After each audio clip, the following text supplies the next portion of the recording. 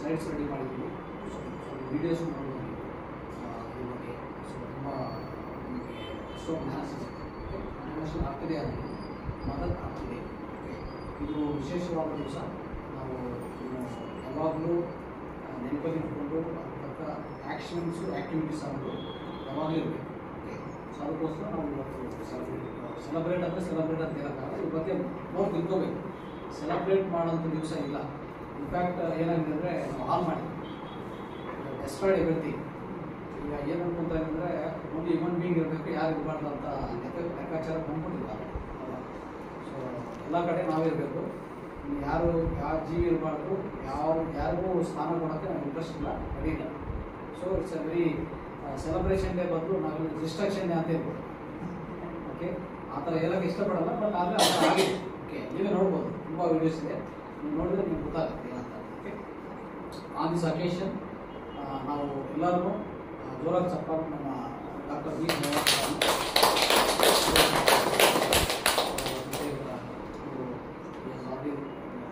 occasion and uh, as everybody knows about uh, Dr. Saurabh sir and he has been in charge of uh, Pyramid Spiritual Science Academy and he has been uh, along with Patri sir he has uh, established this PSSA so to teach the children uh, across India across globe about uh, Pyramid Spiritual uh, Science movement all the philosophy and Pyramid Spiritual Science also right so he has been teaching a uh, lot of uh, uh, schools and colleges and uh, various institutions across India.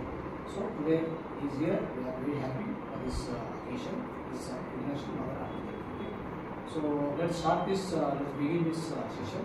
And before going into the session, we will have some kind of a small videos which you can watch.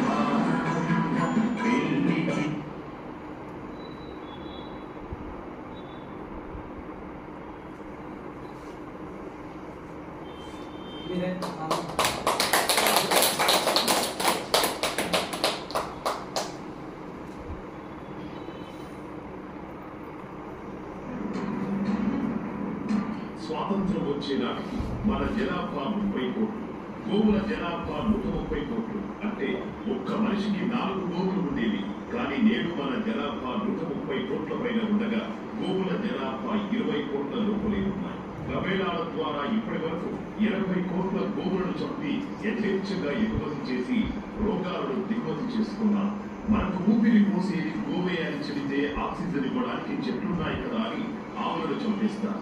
ఆక్సిజన్కి సిలిండర్లు వచ్చాయని ఇప్పుడు చెట్లను నరికేశారు చివరకు oxygen చెట్టు పట్టుకుని బిక్కు బిక్కుమంటూ చోద్యం చూస్తున్నాం. ఎన్నో సూచనలు వచ్చినా ఎన్నో ప్రళయాలు వచ్చినా తెలుసుకోలేకపోతున్నారు. ఎందుకు ఇలా జరుగుతున్నాయని ఆలోచన కూడా చేయట్లేదు. కాని కాలంలో వర్షాలతో ముంచేస్తున్న దానికి కారణం కనుక్కోలేకపోతున్నా. కరోనాతో ప్రపంచం మొత్తం అతలాకుతలమవుతున్న. అతివృష్టి అనావృష్టితో బిడ్డల్లా రాలిపోతున్న. క్షణంలో ఆవిరవుతోన్న బతుకులు కంటి ముందే అయిన వాళ్ళు మిగతా జీవులై ముక్తి వదిలేస్తున్నారు ఏ ఇల్లు చూసినా ఇలాంటి గుండెలు పిండేస్తున్న దృశ్యాలే. వచ్చింది సార్ పోయే కాలం పాప బాధ పడిపోయింది. అందుకే సార్ ఏదో ఒక రూపంలో ఇట్లా కరోనా అంటే వేలకి వేల లక్షలకి లక్షలు కోటికి చేస్తారు సార్ వాళ్ళని కోటికి. నాశనం అయిపోతారు పాప పుణ్యం అంతా పడిపోయింది.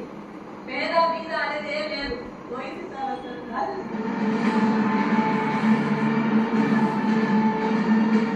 పక్క చెట్లను నరికేసి కాలుష్యంతో కాటికి దగ్గరగా బతికీడిస్తూ మళ్ళీ చెట్లు నాటిస్తున్నామని అనుకుంటున్న ఓ వెర్రి జనాల్లారా.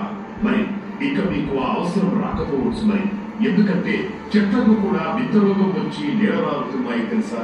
వీటన్నిటికీ మూలం గో వ్యవసాయాన్ని వదిలి విషాన్ని చల్లడం విషాన్ని తినడం విషాన్ని పీల్చడం విష సంస్కృతి అలవాటు చేసుకోవడం వల్ల వాతావరణంలో సమతుల్యం లోపించింది. అందువల్లే ఎన్ని విపరీతాలు సంభవించాయని మేధావులు చెబుతున్నారు.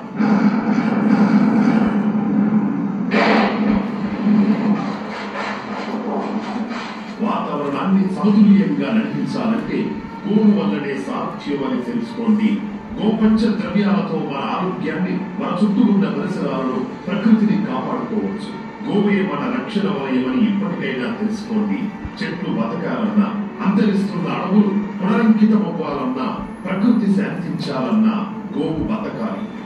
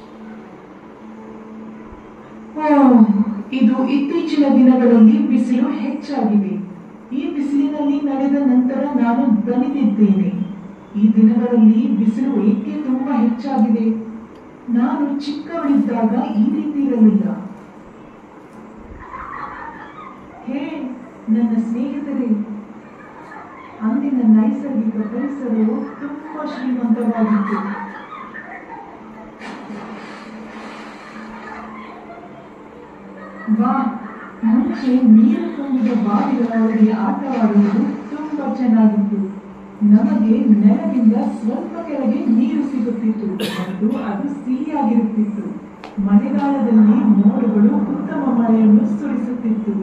ಸುತ್ತಮುತ್ತಲಿನ ಪರಿಸರ ಮತ್ತು ಜಾನುವಾರುಗಳ ಗೊಬ್ಬರದೊಂದಿಗೆ ಮಣ್ಣು ಬಹಳ ಫಲವತ್ತಾಗಿತ್ತು.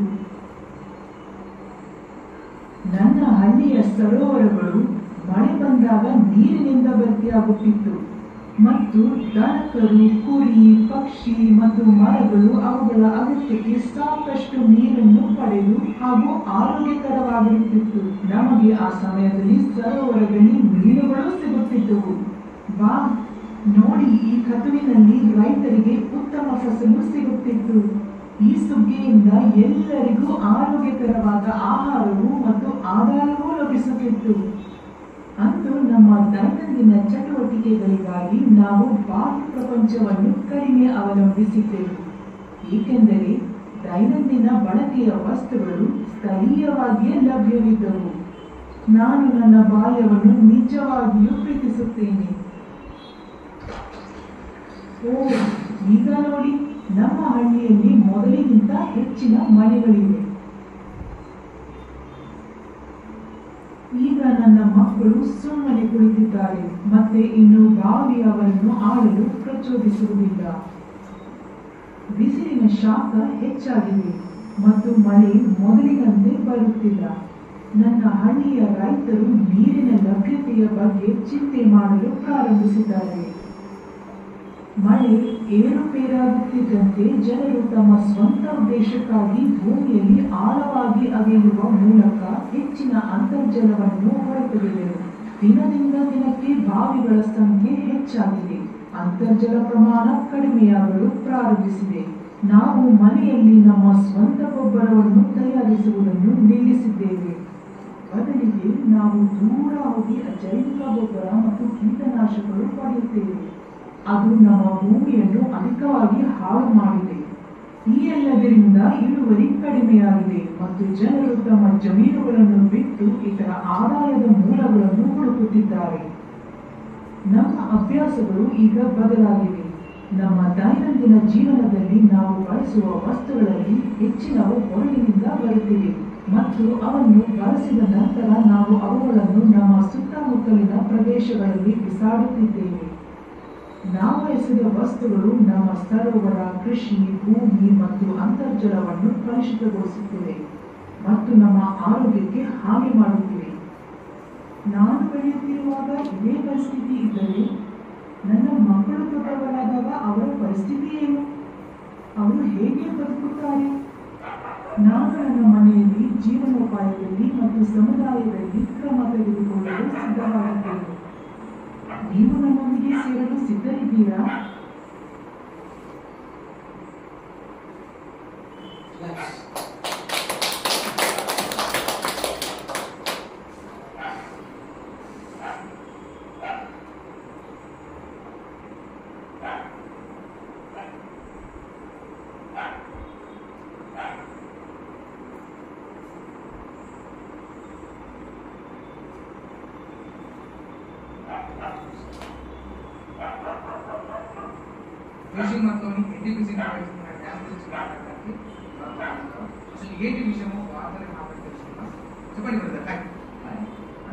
ముందుగా నా పేరు రుచిత దర్శకం నేను క్లైమేట్ ఫ్రెండ్ ఫౌండేషన్ ప్లానింగ్ ఎన్జిఓకి డెప్యూటీ డైరెక్టర్గా పనిచేస్తున్నాను. ఈ రోజు మేము ఇక్కడికి వచ్చి పాంప్లెట్ డిస్ట్రిబ్యూషన్ చేస్తున్నాము ఉస్మానియా యూనివర్సిటీ దగ్గర. ఏంటంటే ఈ పాంప్లెట్ ద్వారా మళ్ళీ మేము ఇక్కడికి రావడానికి కారణం ఏంటంటే మేము చేసే స్ట్రైకింగ్ కూడా కారణం ఏంటంటే జోషిమత్ అనే ఒక సిటీ ఉత్తరాఖండ్లో ఉన్న చమోలి డిస్ట్రిక్ట్లో ఉంటుంది. ఈ సిటీ ఏంటంటే మౌంటైన్ రేంజ్లో ఉంటుంది.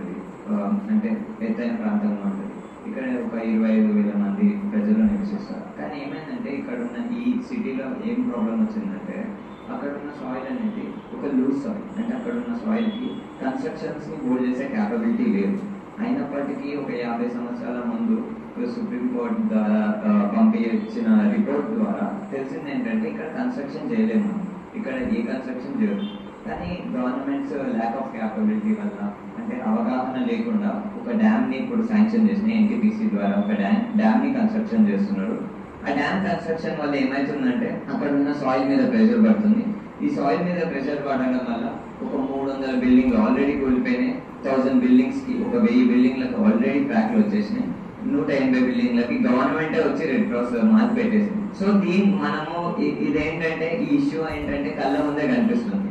పర్యావరణాన్ని ఇగ్నోర్ చేసి మనం కనుక ఏదైనా కన్స్ట్రక్షన్ చేసినాం అనుకో ఇట్లాంటి అవుట్కమ్స్ వస్తాయి. ఇట్లాంటి ఇట్లాంటివి మనం డిఫరెంట్ డిఫరెంట్ ప్లేసెస్లో చూసినాము. ఇప్పుడు ఏమైతుందంటే మనం మేము మాట్లాడేది కూడా మా ఫౌండేషన్ పేరే క్లైమేట్ ఫ్రంట్ క్లైమేట్ ఫ్రంట్ అంటే ఏంటంటే వాతావరణం కోసం మేము పోరాడేవాళ్ళం వాతావరణం అంటే ఏంటి? క్లైమేట్ చేంజ్ అంటే ఏంటో మీకు ఒక చిన్న గ్లిమ్స్ క్లైమేట్ చేంజ్ అంటే ఏం లేదు. మనం మనం వాడే వాహనాలు ఉన్నాయి. మనం చేసే ఏ ప్రోడక్ట్ అని ఇప్పుడు నేను వేసుకునే బట్ట ఉంది కదా ఈ బట్టను తయారు చేసే ప్రాసెస్లో మెషిన్లను యూజ్ చేస్తారు. ఈ మెషిన్ పని చేయాలంటే ఎలక్ట్రిసిటీ జనరేట్ చేయాలి. ఎలక్ట్రిసిటీ జనరేట్ చేయాలంటే బొగ్గుని యూజ్ చేస్తారు. బొగ్గుని బొగ్గు నుంచి ఎలక్ట్రిసిటీ తెచ్చే ప్రాసెస్లో చాలా పొగ వాతావరణంలోకి వెళ్తుంది. చాలా పొగ గాల్లోకి వెళ్ళినప్పుడు ఏమవుతుందంటే బ్లాంకెట్ ఎఫెక్ట్ అనేది క్రియేట్ అవుతుంది. ఇది ఏదైతే పొగ ఉందో ఈ పొగ వేడిని ట్రాప్ చేసి పెట్టుకుంటారు అంటే వేడి మనం భూమి అంతా ఈ పొగ అంతా పాకిపోయిందనుకో అప్పుడు భూమి ఇంకా వేడిగా మారుతుంది. సన్ నుంచి వచ్చే హీట్ ఇట్లానే ఉంటుంది. అట్లా మెల్లమెల్లగా వేడి అనేది పెరుగుకుంటూ పోతుంది. దాని వల్లనే మనకి హైదరాబాద్లో ఘోరమైన ఫ్లడ్స్ వస్తున్నాయి. దాని వల్లనే మన హైదరాబాద్లో ఫ్లడ్స్ వస్తున్నాయి. దాని వల్లనే బంగ్లాదేశ్లో ప్రజలు ఘోరంగా బాధపడుతున్నారు. కేరళలో ప్రజలు బాధపడుతున్నారు. మన మిత్ర దేశం పాకిస్తాన్లో ఫ్లడ్స్ రావడానికి కారణం కూడా అదే. పాపం మా పాకిస్తాన్ అసలు కార్బన్ మిషన్ అసలు పాకిస్తాన్ కార్బన్ ఎమిషన్లు చేసే షేర్ చాలా తక్కువ. కానీ ఎంత ఘోరంగా బాధపడుతుందో మీరే చూస్తున్నారు. ఇప్పుడు అక్కడ ఒక దాని ఎకానమీ మొత్తం దెబ్బతినడానికి కారణం ఈ క్లైమేట్ చేంజ్ సో ఇట్లా ఏంటంటే మానవుడు పర్యావరణం గురించి లెక్క చేయకుండా పర్యావరణం గురించి ఆలోచించకుండా ఎట్లా పడితే అట్లా కన్స్ట్రక్షన్ చేసుకుంటూ పోతే ఎట్లా పడితే అట్లా అభివృద్ధి పేరు చెప్పుకుంటూ పనులు చేసుకుంటూ పోతే ఇలాంటి అవుట్కమ్స్ వస్తుంది. ఇప్పుడు పాకిస్తాన్ ఎకానమీ దెబ్బతిన్నది.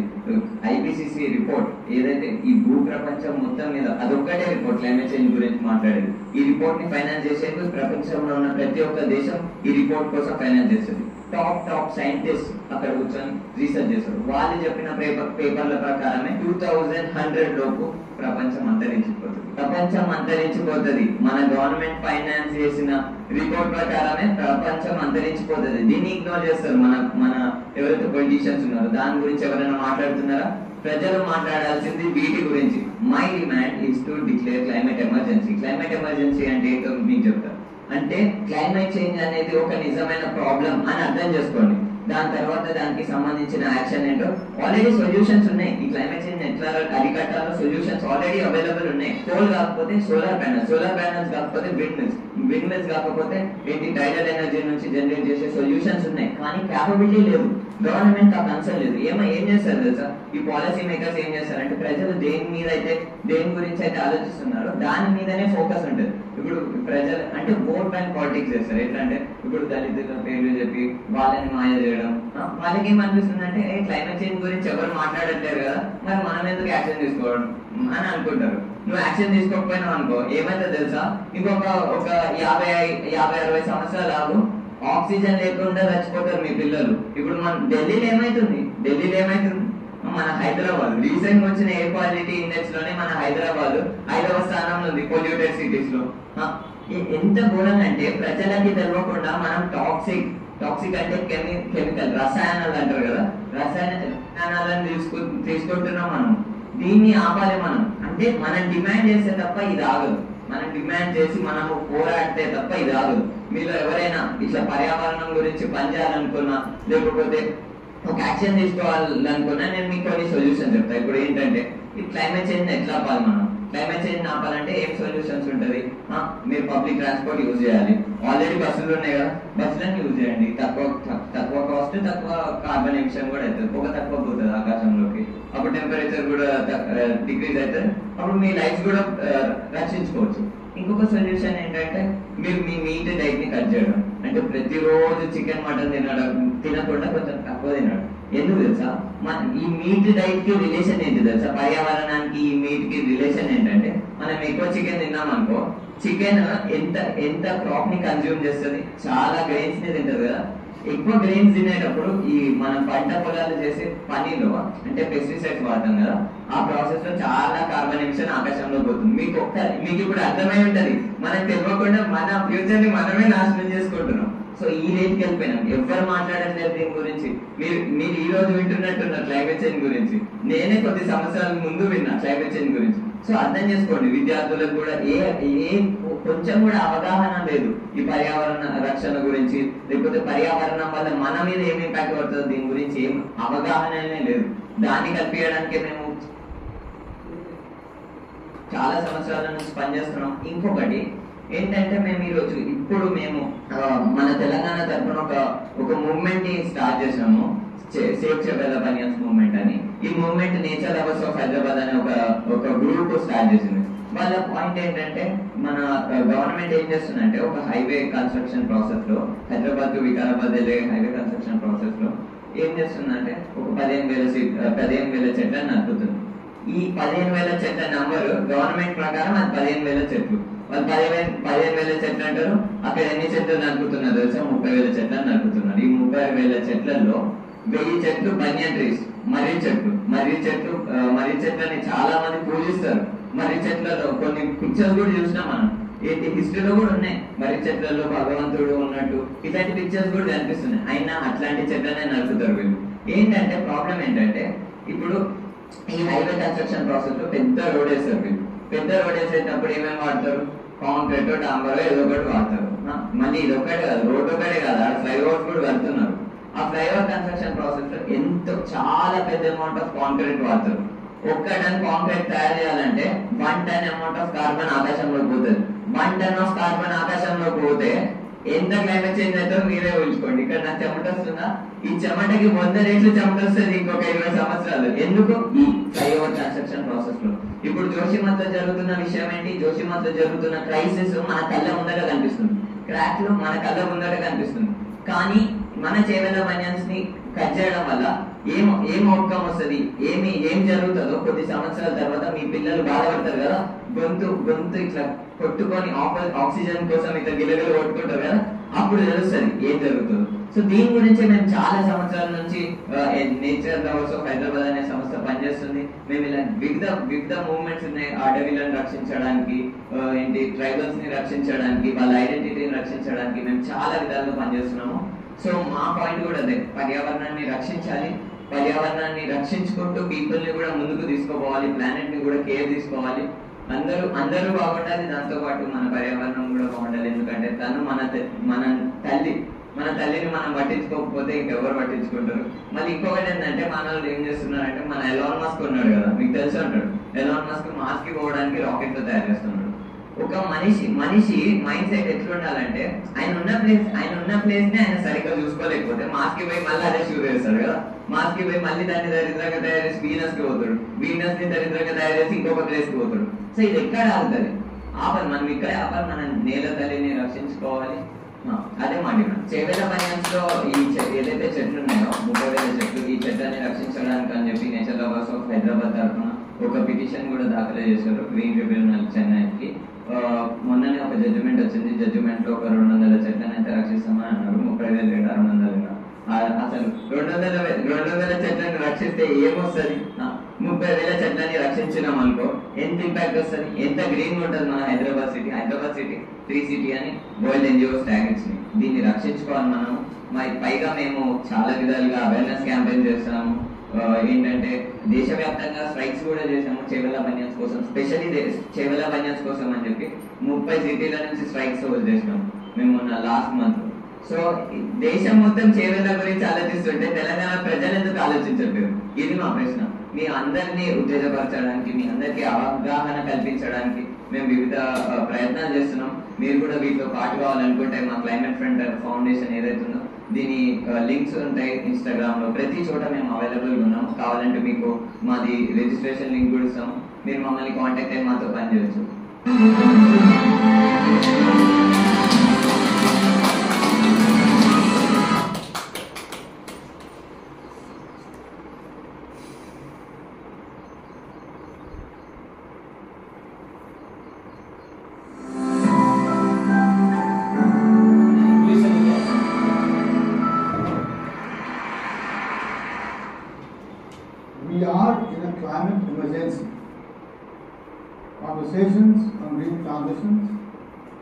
Focus on solar panels, electric vehicles, wind energy, green buildings, etc.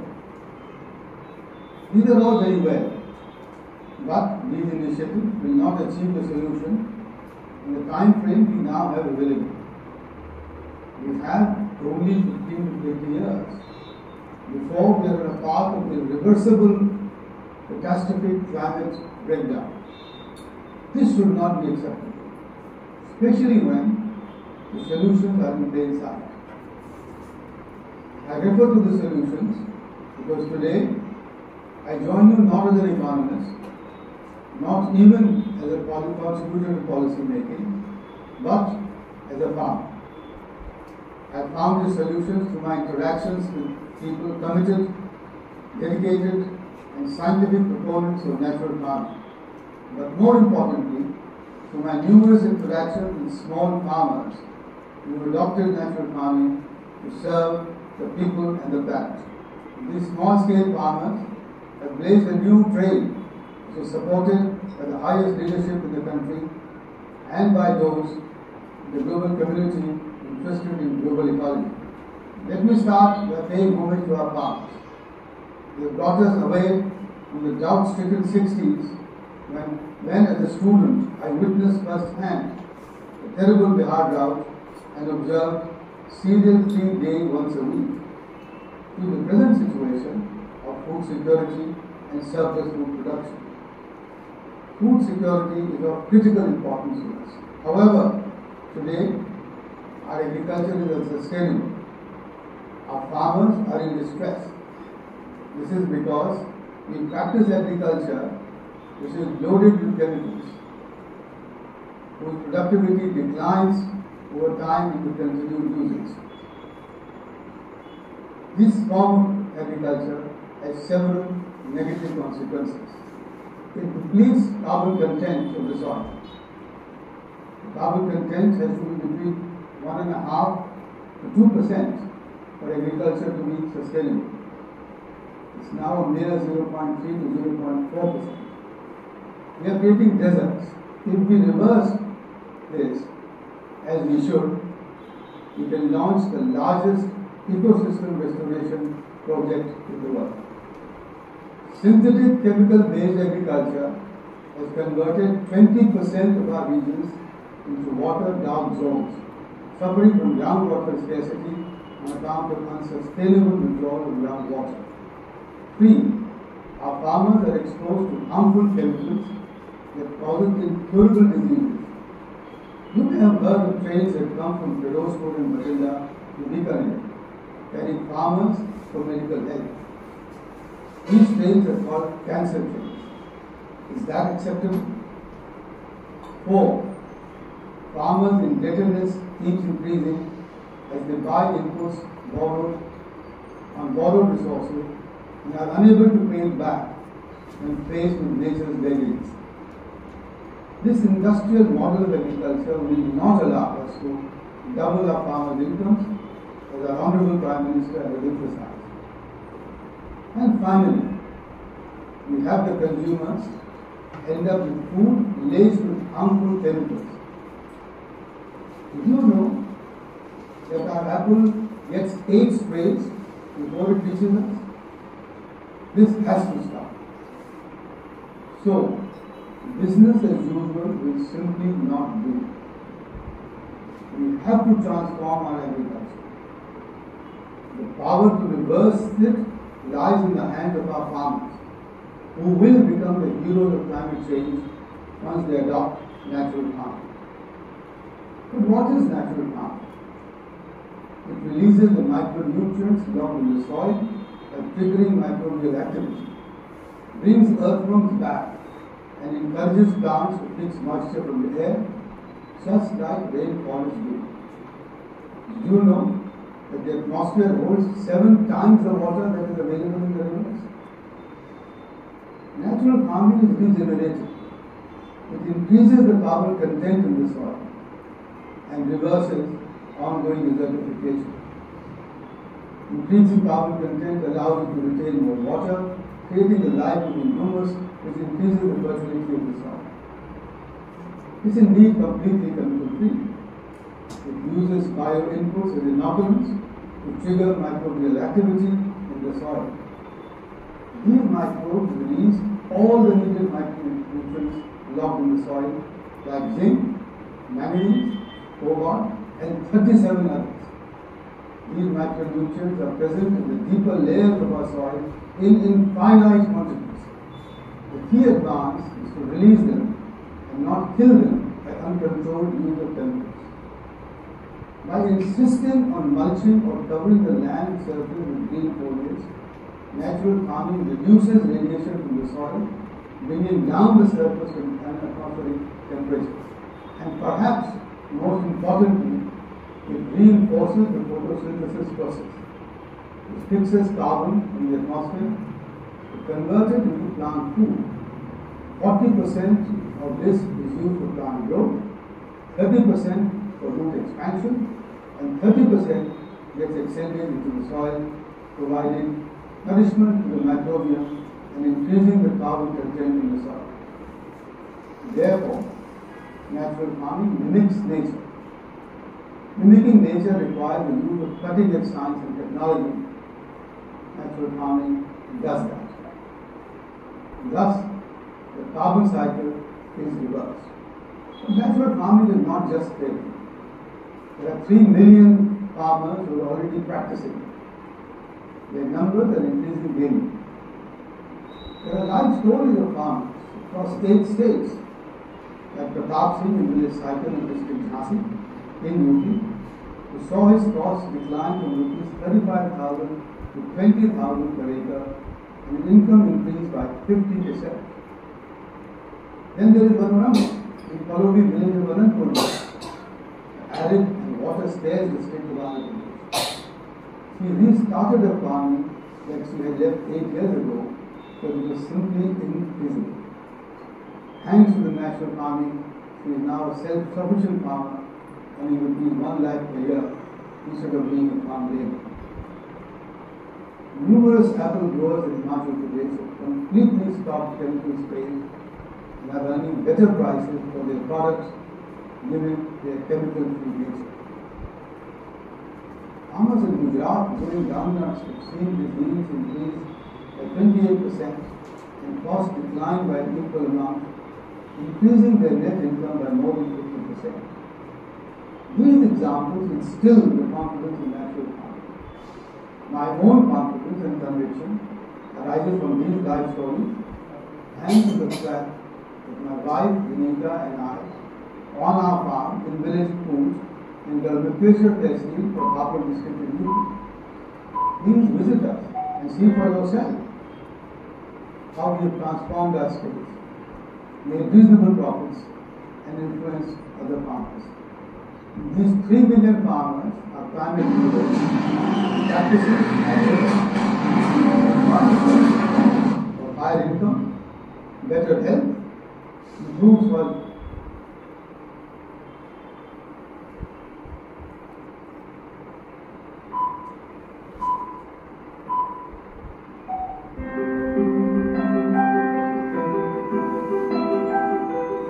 माता भूमि पुत्रो हम पृथ्व्या अर्थात धरती हमारी माता है और हम उनके पुत्र माता और पुत्र के रिश्ते का पवित्र सेतु, यानी प्राकृतिक कृषि। प्राकृतिक कृषि प्रक्रिया में धरती का अमृत, जीवामृत। आइए हम जानते हैं कि जीवामृत का निर्माण कैसे होता है। प्रयोगों से पता चला है कि 10 किलोग्राम गोबर के साथ गौमूत्र गुड़ एवं दो तरह चीज़ों का आटा या बेसन आदि मिलाकर यदि उसका प्रयोग किया जाए तो चमत्कारिक परिणाम मिलते हैं। जिसका नाम रखा गया जीवामृत। जीवामृत निर्माण के लिए ज़रूरी सामग्री देखते हैं। 10 किलोग्राम देसी गाय का गोबर 8 से 10 लीटर देसी गाय का मूत्र, डेढ़ से दो किलोग्राम गुड़, डेढ़ से दो किलोग्राम बेसन 180 लीटर पानी, मुट्ठी भर पेड़ के नीचे की मिट्टी। आसानी से उपलब्ध इन सामग्री से वृत बनाने की विधि भी इतनी सरल है कि कोई भी किसान इसे अपने आप बना सकता है।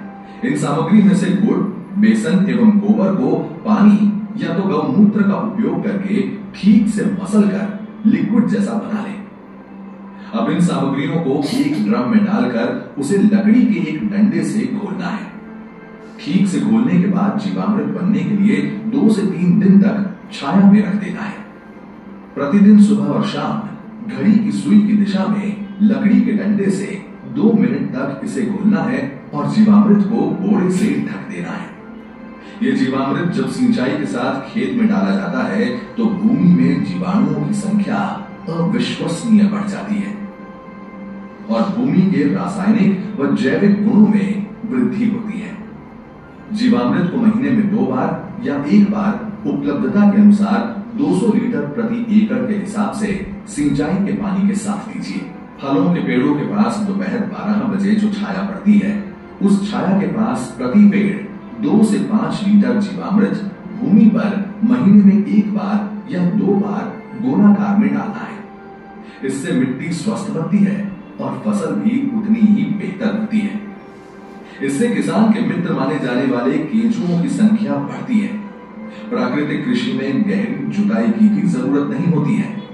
इतना ही नहीं, प्राकृतिक कृषि भूमिगत जल को भी बढ़ाती है। इस प्रक्रिया से मुख्य फ़सलों के साथ सहयोगी फ़सलों को भी उगाया जा सकता है। घन जीवामृत जीवामृत का ही सूखा हुआ स्वरूप है, जिसे फ़सल बोने से पहले ज़मीन में मिलाया जाता है। धूप में सुखाए गए 200 किलोग्राम गोबर में ताज़ा बना 20 लीटर जीवामृत मिलाकर दो दिन छाया में रखते हैं। इसे एक बार फिर धूप में सुखाकर तथा डंडे से पीसकर महीन बना दिया जाता है। यही घन जीवामृत है, जिसे एक एकड़ के लिए प्रयोग कर सकते हैं। प्राकृतिक खेती का एक आवश्यक आदान बीजामृत है। बीजामृत जहाँ बीज को बीज जनित रोगों से बचाता है, वहीं इसकी अंकुरण क्षमता को अद्भुत रूप से बढ़ाता है। देसी गाय के पाँच किलोग्राम गोबर, पाँच लीटर गौमूत्र पचास ग्राम बुझा हुआ चूना और थोड़ी सी मिट्टी को 20 लीटर पानी में मिलाकर बीजामृत बनता है। एक रात रखने के बाद इसमें 100 किलोग्राम बीज का संस्कार किया जाता है। इसके एक दिन बाद संस्कारित बीज बुआई के लिए तैयार हो जाता है। आच्छादन प्राकृतिक खेती का एक महत्वपूर्ण नियम है। खेती वाली सारी भूमि को फ़सल अवशेष से या छोटी अवधि की अंतर फ़सलों से पूरा ढक दिया जाता है। आच्छादन भूमि में नमी बनाए रखता है, तथा वातावरण से नमी को खींचकर खेती हेतु पानी की खपत को भी अद्भुत रूप से घटाता है। जीवाणुओं एवं केंचुओं की गतिविधियों को बढ़ाता है, खरपतवार को नियंत्रित करता है, तथा अंत में विघटित होकर ज़मीन से कार्बन उत्सर्जन को रोककर भूमि के जैविक कार्बन क्षमता को बढ़ाता है। इस कृषि विधि में वापसा निर्माण भी एक महत्वपूर्ण प्रक्रिया है, जिसमें भूमि में हवा और नमी का बराबर संतुलन बनाया रखा जाता है। प्राकृतिक कृषि विधि केवल भूमि की उत्पादन क्षमता को ही नहीं बढ़ाती है, बल्कि ये कीट एवं बीमारियों के रोकथाम के लिए भी एक प्रभावी विकल्प देती है। फ़सलों पर कीट पतंगों की रोकथाम के लिए स्थानीय वनस्पति पर आधारित सस्ता तथा किसान के खेत में ही बनने वाला आदान है अग्नि अस्त्र। पाँच किलोग्राम नीम या अन्य स्थानीय पौधा जिसे गाय नहीं खाती के पत्ते 20 लीटर देसी गाय का मूत्र 500 ग्राम तंबाकू पाउडर 500 ग्राम हरी मिर्च तथा 50 ग्राम लहसुन के पेस्ट को मिलाकर धीमी आँच में उबालकर 48 घंटे के लिए रखा जाता है। सुबह शाम दो दो मिनट के लिए घोले। इस घोल को 6 लीटर प्रति 200 लीटर पानी में मिलाकर एक एकड़ में छिड़काव करते हैं। नीमास्त्र, ब्रह्मास्त्र, दशपर्णी अर्घ इत्यादि भी कीट पतंगों की रोकथाम के लिए उपयोग में लाए जाते हैं। इसी तरह खट्टी लस्सी कंडी सौठास्त्र इत्यादि प्रभावी रूप से विभिन्न बीमारियों के निवारण के लिए प्रयोग में लाए जाते हैं। प्राकृतिक कृषि से देश में नई ऊर्जा का संचार हो रहा है। आइए आज़ादी के अमृत महोत्सव में माँ भारती की धरा को रासायनिक खाद और कीटनाशकों से मुक्त करने का संकल्प। दुनिया को स्वस्थ धरती, स्वस्थ जीवन का रास्ता दिखाया आज देश ने आत्मनिर्भर भारत का सपना संजोया आत्मनिर्भर भारत तभी बन सकता है जब उसकी कृषि आत्मनिर्भर बने। एक एक किसान आत्मनिर्भर और ऐसा तभी हो सकता है जब अप्राकृतिक खाद और दवाइयों के बदले हम माँ भारती की मिट्टी का संवर्धन गोबर धन से करें, प्राकृतिक तत्वों से करें। और देशवासी हर चीज़ के हित में, हर जीव के हित में प्राकृतिक खेती को हम जन आंदोलन बनाएँगे। आज़ादी के अमृत महोत्सव के इस शुभ अवसर पर वर्तमान खेती की दशा एवं दिशा हेतु माननीय प्रधानमंत्री जी का ये अति महत्वपूर्ण आह्वान है। देश के लाखों किसानों ने इस विधि को स्थापित कर दिया है। गुजरात प्रदेश का डांग जिला तो पूरा ही प्राकृतिक खेती जिला घोषित कर दिया गया है। देश के कई गाँव आज इस ओर परिवर्तित हो रहे हैं, क्योंकि इससे किसानों के जीवन में उन्नति आ रही है। मेरा नाम सत्या है मैं मेरे डेढ़ सौ पेड़ पौधा है, जिसमें मैं प्राकृतिक खेती की स्प्रे कर रही हूँ। अगर सेंग स्प्रे हम दुकान से खरीद के करते थे तो उससे हमारा खर्चा ज़्यादा आता था, पैसा भी ज़्यादा लगता था, और इसमें खर्चा भी कम है, और फल भी अच्छा बन रहा है, जिसके लिए हमें यूरिया डालने की कोई ज़रूरत नहीं डाली पहले सर अगर पाँच हज़ार का खर्चा हमारा आता था स्प्रे का तो अभी हमारा पाँच सौ का भी शायद खर्चा नहीं आता। इसलिए अपने पीछे से शुरू करा है। पाकिस्तान सबको बता रही कि आगे के लिए आप जो मैंने किया है अपने बगीचे में, आप ये स्प्रे करके देखो। दिल खुश हो जाता था जब अपनी फ़सल इस तरह से अच्छे से आए तो दिल भी खुश हो जाता था। प्राकृतिक खेती के तरीकों को अपनाने से फ़सल की उपज में बढ़ोतरी हुई है। मिट्टी की गुणवत्ता में सुधार हुआ है। धरती माता सुखी है। उसे लगता है कि किसान ने बेहतर तरीके से उसका ध्यान रखा है और उसके लिए उसे अच्छा भोजन और अच्छी उपज लौटानी चाहिए કોવિડ જેવી અ, મહામારીની પરિસ્થિતિમાં લોકોને એની સમજ આવી કે જો આપણો ખોરાકનો શુદ્ધિકરણ હશે તો જ આપણે બચી શકાશે તો હવે એ લોકો સમજવા માંડે છે લોકો ઉપભોક્તા સમજવા માંડે છે કે આપણે પ્રાકૃતિક ખોરાક ખાવો છે તો ત્યાં આપણે ભાવ પણ મળે છે तो हमारा पैसा भी बचा और टाइम भी बच रहा है और हमारी जो है खेती का, हमारी धरती माँ का स्वास्थ्य भी अच्छा हो रहा है और उसके साथ साथ हमारा भी स्वास्थ्य अच्छा हो रहा है। यही तो है, आत्मनिर्भर किसान जो ला रहे हैं गाँव गाँव में समृद्धि और बना रही है आत्मनिर्भर Bharat.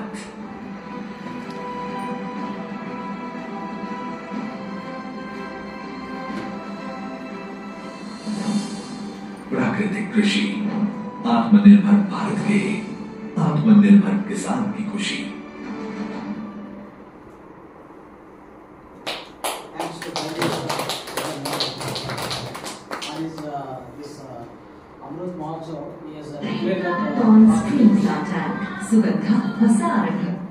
Prakriti Krishna, I mean, natural farming is the main thing, so he is promoting all over India.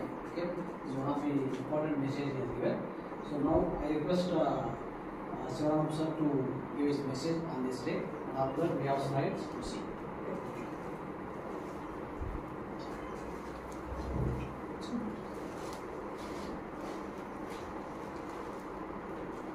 So ಎಲ್ಲರಿಗೂ ನಮಸ್ಕಾರ ಇಷ್ಟು ತನಕ ನಾವು ನೋಡಿದ್ದೀವಿ ಚೆನ್ನಾಗಿ ಇವತ್ತು ಭೂಮಂಡಲದ ಪರಿರಕ್ಷಣೆ ಯಾವ ಥರ ಮಾಡಬೇಕು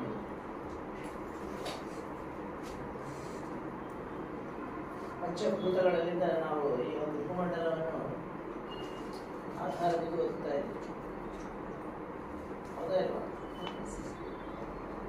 ಭೂಮಿಯ ಮೇಲೆ ನಾವು ಇರುವಂಥದ್ದು ಎಲ್ಲ ಬೇಕಾಗಿದ್ದಂತಹ ಏನು ಬೇಕು ಅದೆಲ್ಲ ಕೂಡ ಭೂಮಿ ನಮಗೆ ಹೇಳ್ತಾ ಇದೆ. ಭೂಮಿಯಿಂದಲೇ ಎಲ್ಲನೂ ಹುಡ್ತಾ ಇದೆ. ಜೀವ ಜೀವರಾಶಿಗಳು. ಮುಖ್ಯ ಸಂಪದ ಎಲ್ಲ ಅಲ್ಲಿಂದ ಹುಡ್ತಾ ಇದೆ ಅನ್ನ ಅಲ್ಲಿಂದ ಹುಡ್ತಾ ಇದೆ ಪ್ರತಿಯೊಬ್ಬ ಜೀವಿಗೆ ಆಹಾರ ಭೂಮಿ ಮುಖ್ಯ ಸಂಪದ ಮೇಲೆ ಆಹಾರ ಇದನ್ನು ಅಂದ್ರೆ ಅವ್ರು ಏನ್ ಮಾಡ್ತಾರೆ ಎಲ್ಲ ವೃಕ್ಷಗಳನ್ನು ಕಟ್ ಕಟ್ ಮಾಡ್ತಾರೆ ಎಲ್ಲ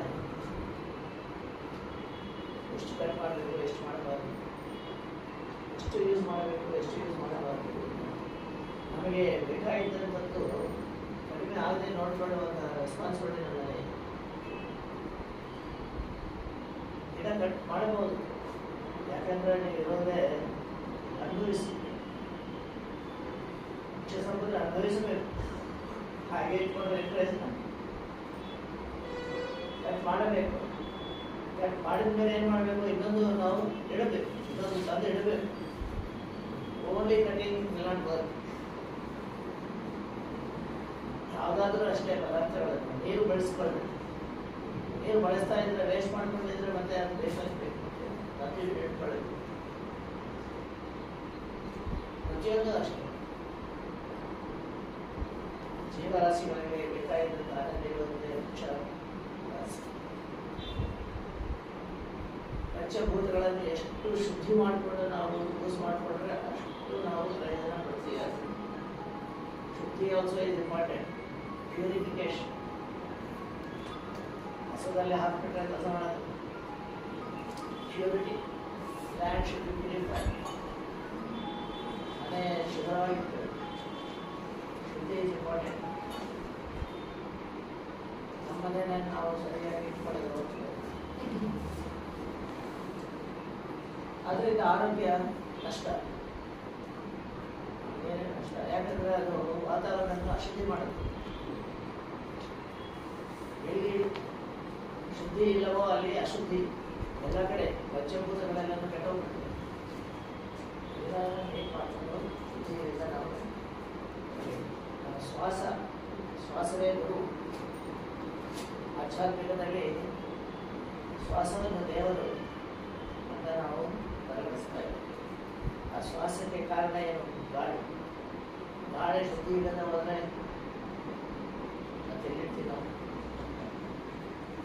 ಶ್ವಾಸ ಗುರು ಕರೆಕ್ಟೇ ಆ ಶ್ವಾಸವನ್ನು ನಾವು ಲೆಕ್ಕ ಮಾಡೋದ್ರಿಂದ ಶುದ್ಧಿ ಬರಬೇಕು ಆಕ್ಸಿಜನ್ ಅನ್ನೋದು ಕಡಿಮೆ ಆಗ್ತಾ ಇದೆಯಾ ಇಲ್ವಾ ಬಹಳ ಜನ ಆಕ್ಸಿಜನ್ ಬಂದು ಗಾಳಿನಲ್ಲಿ ಇರುತ್ತೆ ಅಂತ ಅನ್ಕೊಂಡಿರ್ತೀವಿ ಗಾಳಿನಲ್ಲಿ ಇರುತ್ತೆ, ಎಷ್ಟು ಇರುತ್ತೆ?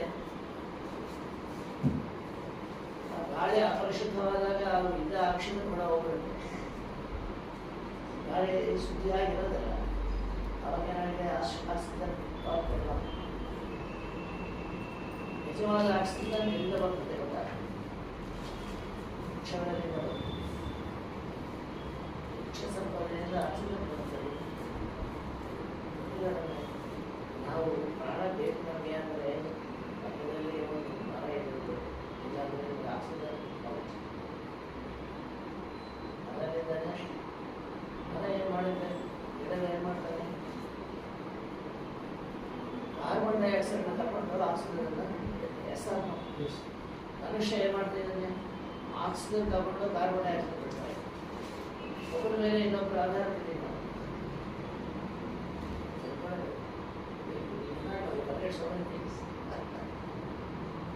ಮೂಲಾಧಾರವೇ ಆಕ್ಸಿಜನ್ ಎಲ್ಲರಿಗೂ ಗೊತ್ತು ಆಕ್ಸಿಜನ್ ಬೇಕು ಆಕ್ಸಿಜನ್ ಸಿಲಿಂಡರ್ಸ್ ಎಲ್ಲ ರೆಡಿ ಇಟ್ಕೊಂಡು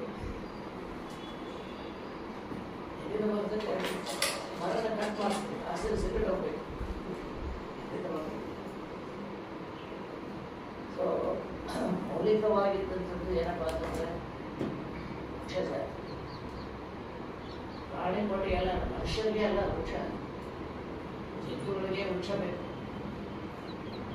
ಇನ್ಸೆಕ್ಟ್ಸ್ಗೆ ವೃಕ್ಷ ಬೇಕು. ಪ್ರತಿಯೊಂದು ಜೀವಿಗೆ ವೃಕ್ಷ ಅನ್ನೋದು ಆಹಾರ. ಎಷ್ಟೋ ಮತ್ತು ಜೀವಿಗಳಿಗೆ ಗಾಳಿ ಆಕ್ಸಿಜನ್ ಕಮ್ಮಿ ಬರುತ್ತೆ ಎಲ್ಲಿಂದ ಬರುತ್ತೆ ಗಾಳಿ. ಗಾಳಿನಲ್ಲಿ ಒಂದು ವೇಳೆ ಅಪರಿಶುದ್ಧವಾದಂತಹ ವಾತಾವರಣ ಇಟ್ಕೊಂಡ್ರೆ ಆಕ್ಸಿಜನ್ ಹೋಗಿ ಹೋಗ್ಬಿಡುತ್ತೆ. ವೃಕ್ಷಗಳನ್ನು ಕಟ್ ಮಾಡಿಕೊಂಡ್ರೆ ಅದು ಕೂಡ ಹೋಗ್ಬಿಡುತ್ತೆ. ಇನ್ನು ನಮ್ಮ ಜೀವ ಯಾಕೆ ವಿಕಾಸ ಇಲ್ಲ ಅದಕ್ಕೆ ಪರ್ಯಾವರಣ ಅದಕ್ಕೆ ನಾವೆಲ್ಲರೂ ಗುರುತಿಸಿ ತಿಳ್ಕೊಳ್ಬೇಕು ಮನೆಯಲ್ಲಿ ನಾವು ಜೀವಿತವಾಗಿರಬೇಕು ಅಂದ್ರೆ ನಾವು ಪಕ್ಕದಲ್ಲಿ ಒಂದು ಮರ ಇಟ್ಕೊಂಡು ಹೌದಾ ಸರ್ ಗಿಡ ಇಟ್ಕೋಬೇಕು ಅದ್ರಲ್ಲಿ ಗಾಡಿ ಎಲ್ಲರೂ ದೊಡ್ಡ ಎಲ್ಲರೂ ಪೊಲ್ಯೂಷನ್ ಆಗುತ್ತೆ ಎಲ್ಲ ಎಷ್ಟು ವೆಹಿಕಲ್ಸ್ ಹೋಗ್ತಾ ಇರ್ತವೆ ಎಲ್ಲರೂ ಹೊಗೆ ಬಿಟ್ಟು ಬಿಟ್ಟು ಬಿಟ್ಟು ಏನಾಗುತ್ತೆ ಗಾಡಿ ಅಯ್ಯೋ ನಮ್ಮ ಗಾಡಿ ಮುಚ್ಕೊಂಡು ಹೋಗು ನಾವು ಮುಚ್ಕೊಂಡು ಸರ್ ಪರಿಸ್ಥಿತಿ ಸರ್ ಏನು ಸಿಟೀಸ್ನಲ್ಲಿ ನಾವು ಕೂಡ ಅದಕ್ಕೆ ಒಂದು ಪರ್ಯಾವರಣ ಅನ್ನೋದು soil conservation world earth day earth day ಅನ್ನೋದು ಅಷ್ಟು ಇಂಪಾರ್ಟೆಂಟು ಅರ್ಥಡೆ ಹೋದರೆ ನಾವು ನಿಲ್ಲಲಿಕ್ಕೆ ಸಾಧ್ಯವಿಲ್ಲ ಅಂದರೆ ಅರ್ಥ ದಿ ಅರ್ಥ ಪ್ಲಾನೆಟ್ ಭೂ ಮಂಡಲವನ್ನು ಅತಿ ವ್ಯಾಪಕವಾಗಿ ನಾವು ಬಳಸ್ಕೊಳ್ಬೇಕು ಯಾಕಂದರೆ ಅದು ನಮ್ಮ ಪ್ರಯೋಜನಕ್ಕೆ ಇದೆ. ಅನ್ನೋದು ಏನೋ ಬಂದರೆ ನಾವು ನಮ್ಮ ಜೀವನ ನಡೆಸುವ ರೊಕ್ಕ ರೊಕ್ಕ ರೊಕ್ಕ ನಮ್ಮ ಜೀವನ ಮುಖ್ಯವಾಗುತ್ತೆ ಅಂತ ಹೇಳಿ ಭಾಳ ಭಾಳ ಚೆನ್ನಾಗಿ ಹೇಳಿದರು importance of nature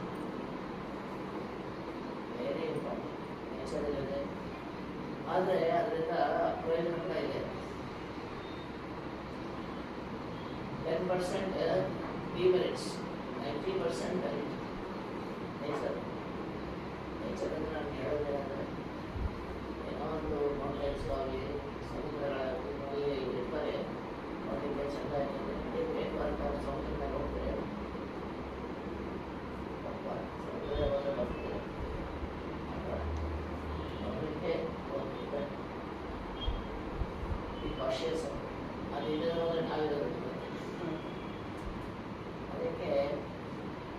ಜೀವನದಲ್ಲಿ ಅದೊಂದು ದುಃಖಿಸಬೇಕು ಅಯ್ಯೋ ಆಕ್ಸಿಜನ್ ಬೇಕಲ್ಲ ಇದನ್ನು ಯಾವುದು ಪ್ಲಾನೆಟ್ ನಾವು ಸೇವ್ ಮಾಡ್ಕೊಳ್ಳಿ. ಇಲ್ಲಾಂದರೆ, ಅದು ನಾವ ನಲ ಜಾಸ್ತಿ ಈ ಅಗ್ರಿಕಲ್ಚರ್ ಕೂಡ ಅದೇ ಹೇಳೋದು. ಅಗ್ರಿಕಲ್ಚರ್ ಸರಿಯಾಗಿ ಮಾಡದೆ ಎಲ್ಲನೂ ಕೂಡ ಒಂದು ಪೊಲ್ಯೂಟೆಡ್ ಆಕ್ಸಿಜನ್ ಇದು ಏನಂದ್ರೆ chemicals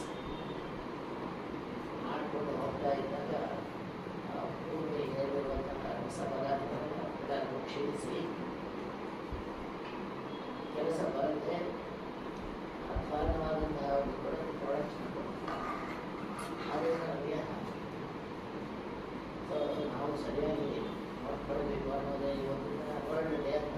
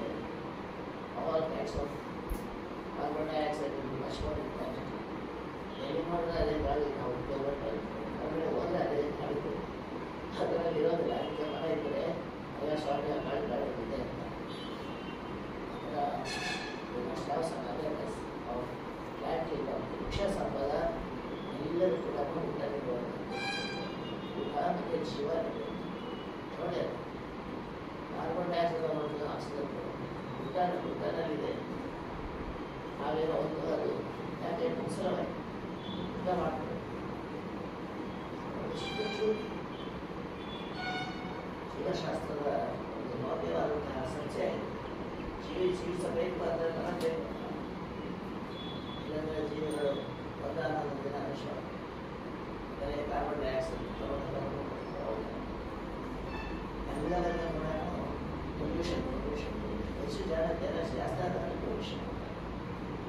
తెలుసు ఆడవాళ్ళ అభ్యాసాలు అష్టం శుద్ధవాళ్ళ కలిసి శుద్ధి మైండ్ శుద్ధి అమ్మ శుద్ధి శుద్ధి ಆಹಾರ ಪದಾರ್ಥಗಳನ್ನು ಶುದ್ಧಿ ಇಟ್ಕೊಂಡು ನಾವು ಇರುವಂಥ ಪದಾರ್ಥ ಪ್ರದೇಶಗಳನ್ನು ಶುದ್ಧಿ ಇಟ್ಕೊಂಡು so mind is very very important ಆ ಮೈಂಡ್ ಶುದ್ಧಿಯಾಗಿ ಇಟ್ಕೋಬೇಕಂದ್ರೆ ಧ್ಯಾನ ಮಾಡಿ ಎಸ್ ಎಸ್ ಸೊ ಅದರಿಂದ ನಾವು ಆ ಒಂದು ಅವೇರ್ನೆಸ್ ತಂದುಕೊಳ್ತೀವಿ ಅದರಿಂದ ಪರಿಸರಗಳನ್ನು ಶುದ್ಧಿ ಅದರಿಂದ ಎಲ್ಲರೂ ಕೂಡ ಜೀವಶಕ್ತಿ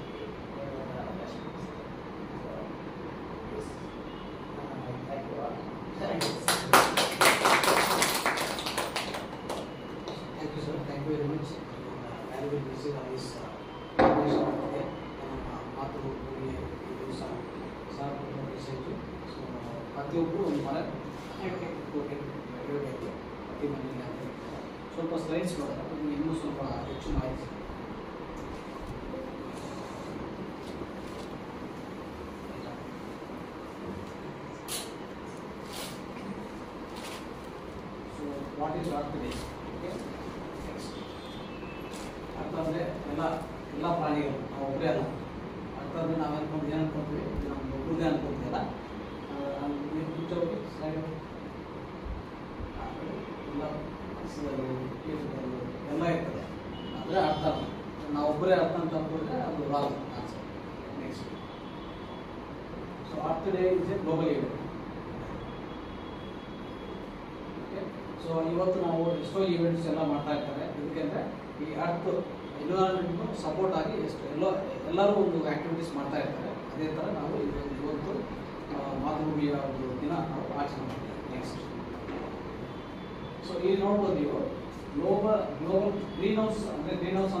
Carbon dioxide, carbon monoxide ಎಷ್ಟು ಯಾವ ಯಾವ ಯಾವ ರೀತಿಯಲ್ಲಿ ಆಗ್ತಾ ಇದೆ ಅಂದ್ರೆ ನೀವು ಇದರಲ್ಲಿ ಒಂದೇ ಸ್ಲೈಡಲ್ಲಿ ನೋಡ್ಬೋದು.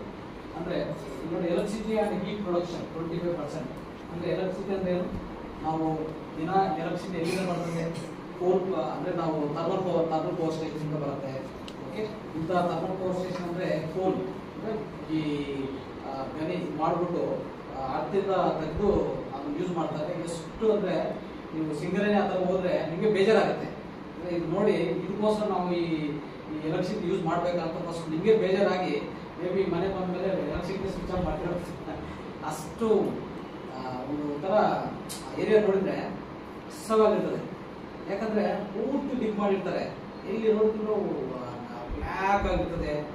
ಒಂಥರ ರಿಯಲಿ ನೇಚರ್ ಇರಲ್ಲ ಅಲ್ಲಿ. ಒಂದು ಮರ ಬೆಳೆಯೋಕ್ಕಾಗಲ್ಲ.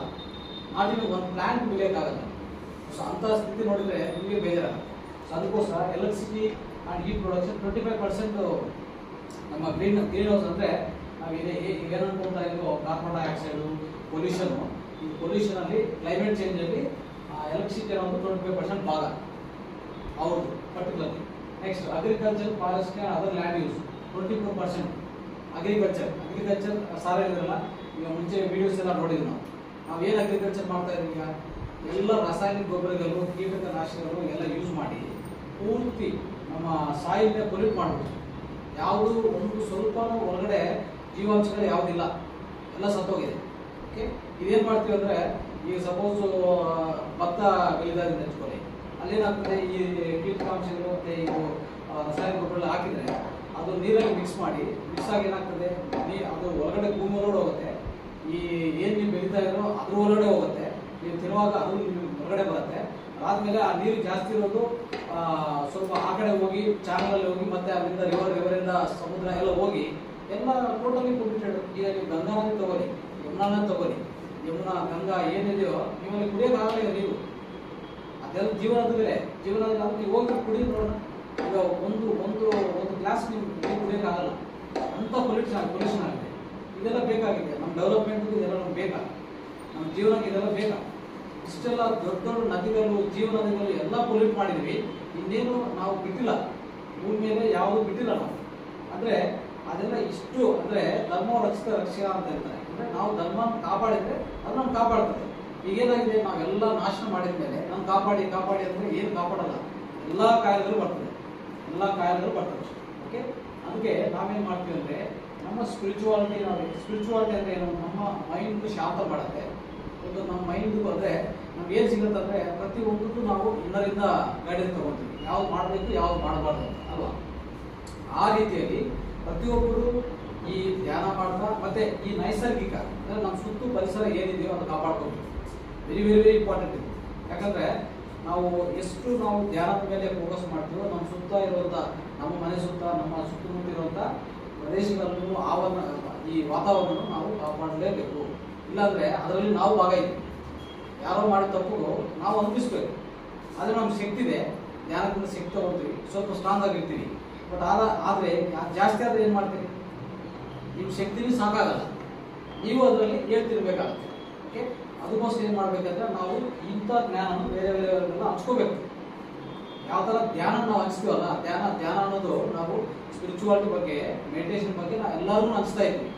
We keep propagating like anything same ಥರ ನಾನು ಎಲ್ಲರೂ ಅಡ್ವೈಸ್ ಮಾಡ್ತಾರೆ ಇವತ್ತು ಇಂಟರ್ನ್ಯಾಷನಲ್ ಮದರ್ ಆಗ್ತಿದೆ ಅಂತ. ಇವತ್ತು ನಾನು ನಿಮಗೆ ಹೊಸ ಐಡಿಯಾ ಏನು ಕೊಡ್ತಾ ಇದ್ದಂದ್ರೆ ನೀವು ಏನು ಧ್ಯಾನ ಯಾವ ಥರ ಹಂಚ್ತಿರೋ ಬೇಕಂದ್ರೆ ಪಾಂಪ್ಲೇಟ್ ಕೊಡ್ತೀವಿ ನಾವು. ಅಂದರೆ ನಮ್ಮ ಈ ಭೂಮಿ, ಈ ತಾಯಿ ಯಾವ ಥರ ಕಾಪಾಡ್ಕೋಬೇಕು, ನಮ್ಮ ಪರಿಸರ ಯಾವ ಥರ ಕಾಪಾಡ್ಕೋಬೇಕು ಅನ್ನೋದು ಒಂದು ಪಾಂಪ್ಲೇಟ್ ಕೊಡ್ತೀವಿ.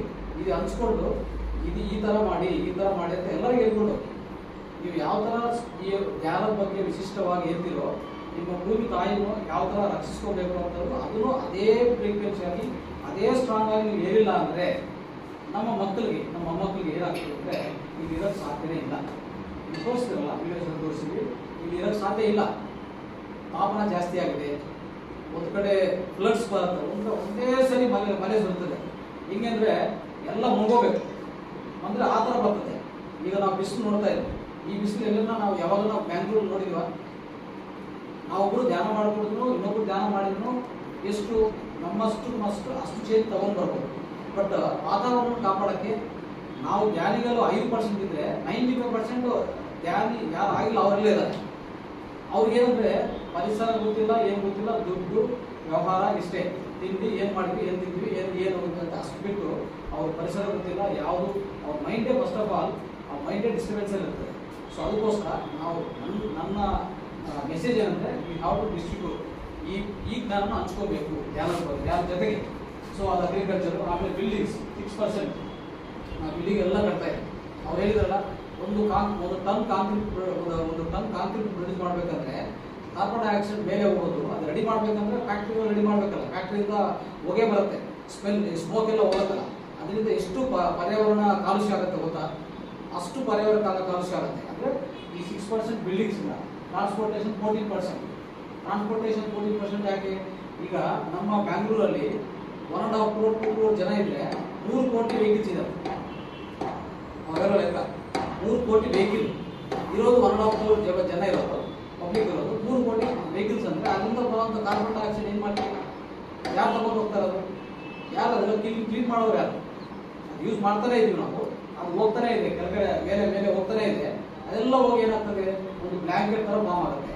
ಬ್ಲ್ಯಾಂಕೆಟ್ ತರ ಫಾರ್ಮ್ ಆಗಿ ಈ ಮೇಲೆಯಿಂದ ಸಣ್ಣ ಎನರ್ಜಿ ಏನು ಬರ್ತದೋ, ಬಿಸಿಲು ಏನೋ ಬರ್ತದೋ, ಅದನ್ನು ನಮ್ಮ ವಾತಾವರಣ ಒಳಗಡೆ ಇಟ್ಕೊಳ್ತದೆ. ಅದು ಮತ್ತೆ ಬ್ಯಾಕ್ ಸೈಡ್ ಹೋಗಿ ಬಿಡಲ್ಲ.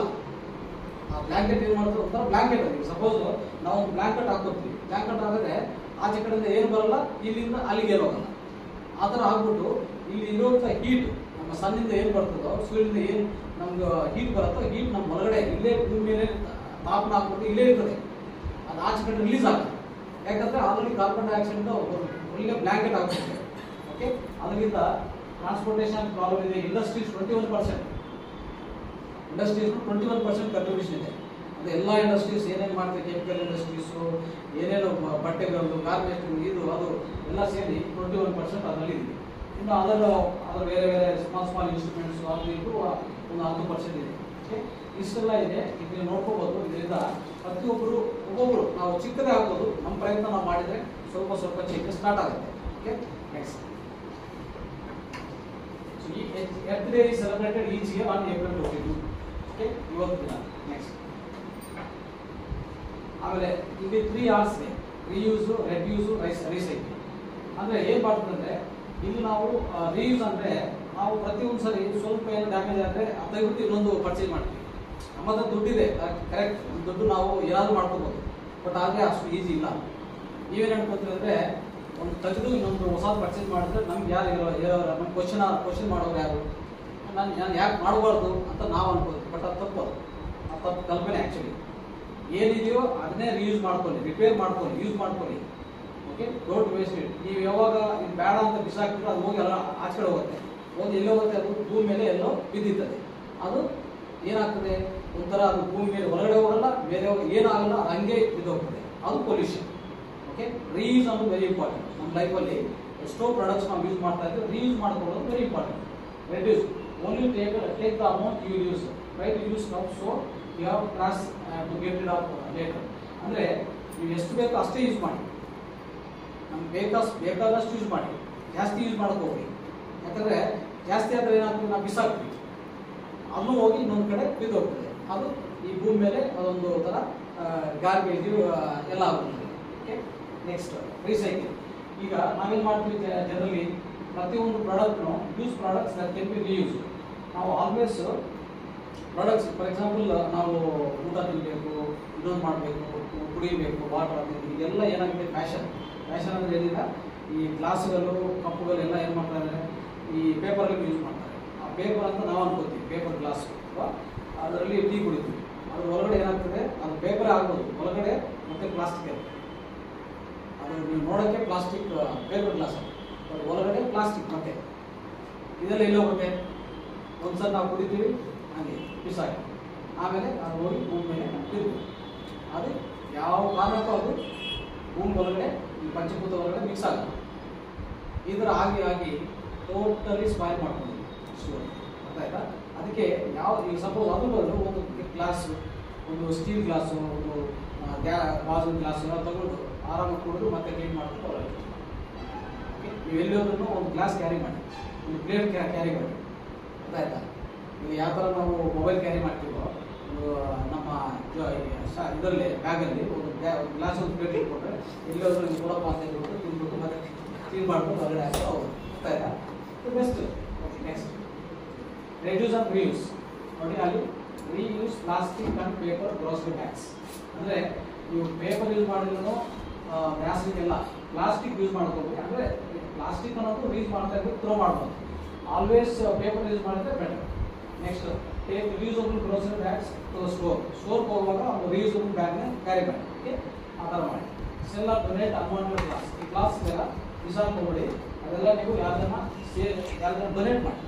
ಓಕೆ ಅವ್ರು ಯೂಸ್ ಆಗ್ತಾರೆ ಅವ್ರು ಯೂಸ್ ಮಾಡ್ಕೊತಾರೆ.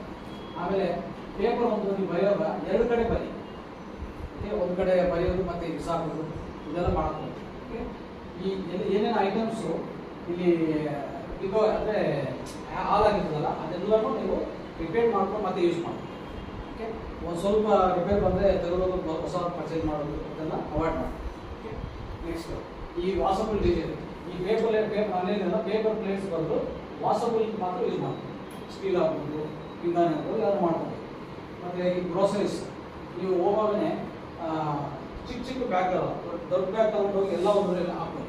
ಸೊ ದಟ್ ನಿಮಗೆ ನಂಬರ್ ಆಫ್ ಬ್ಯಾಗ್ಸ್ ಕಡಿಮೆ ಆಗುತ್ತೆ. Okay next corrections and preventions ನಾವೇನೇನು corrections ಮಾಡ್ಕೋಬೇಕು ಏನೇನು ಪ್ರಿವೆನ್ಷನ್ಸ್ ಮಾಡ್ಕೋಬೇಕು ನೆಕ್ಸ್ಟ್ ಸ್ಪ್ರೆಡ್ ದ ವರ್ಡ್ ನೀವೇನು ಮಾಡಬೇಕಂದ್ರೆ ಪರ್ಟಿಕ್ಯುಲರ್ಲಿ ನಿಮ್ಮ ಫ್ಯಾಮಿಲಿಗೆ ನಿಮ್ಮ ಫ್ರೆಂಡ್ಸ್ಗೆ ಈ ಕಾರ್ಬನ್ ಪೊಲ್ಯೂಷನ್ ಬಗ್ಗೆ ಎಲ್ಲರಿಗೂ ಮಾಹಿತಿ ಕೊಡಿ. ಸ್ಟೋರ್ ಅದೇ ಇದೆ ನೀವು ಈ ವರ್ಡ್ ಯಾವ ಥರ ನೀವು ಮೆಡಿಟೇಷನ್ ಬಗ್ಗೆ ಸ್ಪ್ರೆಡ್ ಮಾಡ್ತೀರೋ, ಈ ಕಾರ್ಬನ್ ಪೊಲ್ಯೂಷನ್ ಬಗ್ಗೆ ನೀವು ಎಲ್ಲರೂ ಸ್ಪ್ರೆಡ್ ಮಾಡಿ ನೆಕ್ಸ್ಟ್ ಸೊ ಈ ಪೊಲಿಟಿಕಲ್ ಪ್ರೆಸರ್ ಅಂದರೆ ನಿಮಗೆ ನಿಮ್ಮ ಹತ್ರ ಬರ್ತಾ ಇರ್ತಾರೆ. ನಾವು ಕಾರ್ಪೊರೇಟರ್ ನಾವು ಎಂ ಎಲ್ ಎ ಓಟ್ ಹಾಕಿ ಅಂತ ಬರ್ತಾ ಇರ್ತಾರೆ. ಇವೇನು ಮಾಡೋದು ನೀವು ಏನಾಗಬೇಕು ಗೊತ್ತಾ? ಯಾಕೆ ಇಷ್ಟು ಬಿಸಿಲಾಗಿದೆ? ಏನಾದರೂ ಮರ ಬಗ್ಗೆ ಏನಾದರೂ ಯೋಚನೆ ಮಾಡಿಲ್ಲ ಈ ಕಡೆ ಒಂದು ಲೇಕ್ ಏನಾದರೂ ಸ್ವಲ್ಪ ಮಾಡಿದ್ರ? ಏನಾದರೂ ಮಾಡೋಕ್ಕೆ ಪ್ಲಾನ್ ಇದೆಯಾ? ಅಂತ ಕ್ವಶನ್ ಮಾಡ್ತಾರೆ ಏನು ಕ್ವಶನ್ ಮಾಡ್ತಾರೆ ನಮ್ಮವರು? ಎಷ್ಟು ಓಟ್ ಕೊಡೋದು. ಮೂರು ಸಾವಿರನ, ಐದು ಸಾವಿರ ನಾವು ಕ್ವಶನ್ ಮಾಡೋದು. ಮೂರು ಸಾವಿರನ, ಐದು ಸಾವಿರ ಅಂತ ಅದೊಂದು ಬಾರ್ಗೇನಿಂಗ್ ನಾನೇನು ಮಾಡ್ತಾ ಇದ್ದೆ ಇನ್ನೊಂದು ಐಡಿಯಾ ಕೊಡ್ತಾ ಇದ್ದೀನಿ. ನೀವು ಲಾಬಿಂಗ್ ಮಾಡುವಾಗ ಡೈರೆಕ್ಟ್ ಲಾಬಿಂಗ್ ಮಾಡಿ. ನಮ್ಮ ಈ ಏರಿಯಾಗೆ, ಈ ಕಾಲನಿಗೆ ಎಷ್ಟು ಮರಗಳು ನೀವು ಎಷ್ಟು ಮರಗಳು ಹಾಕಿದ್ರಿ? ಎಷ್ಟು ಮರಗಳು ನೀವು ಬೆಳೀತಾ ಇದೆ ಅದು ನನಗೆ ನೆಕ್ಸ್ಟು ನಿಮಗೆ ಓಟ್ ಆಗಬೇಕಂದ್ರೆ ಎಷ್ಟು ಮರಗಳು ಹೊರಗಡೆ ನೀವು ಹಾಕ್ತೀರಿ, ಎಷ್ಟು ಅದಕ್ಕೂ ಪೋಷಣೆ ಕೊಡ್ತೀರಿ ಅದು ಲೆಕ್ಕ ಕೊಡಿ. ನಾನು ಓಟ್ ಹಾಕ್ತೀನಿ. ಇಲ್ಲಾಂದ್ರೆ ಓಟ್ ಹಾಕಲ್ಲ. ಗೊತ್ತಾಯ್ತಾ? ದುಡ್ಡು ಬೇಡ, ನಮ್ಗೆ ಯಾವುದು ಬೇಡ. ಮರಗಳಿದ್ರೆ ಸಾಕು.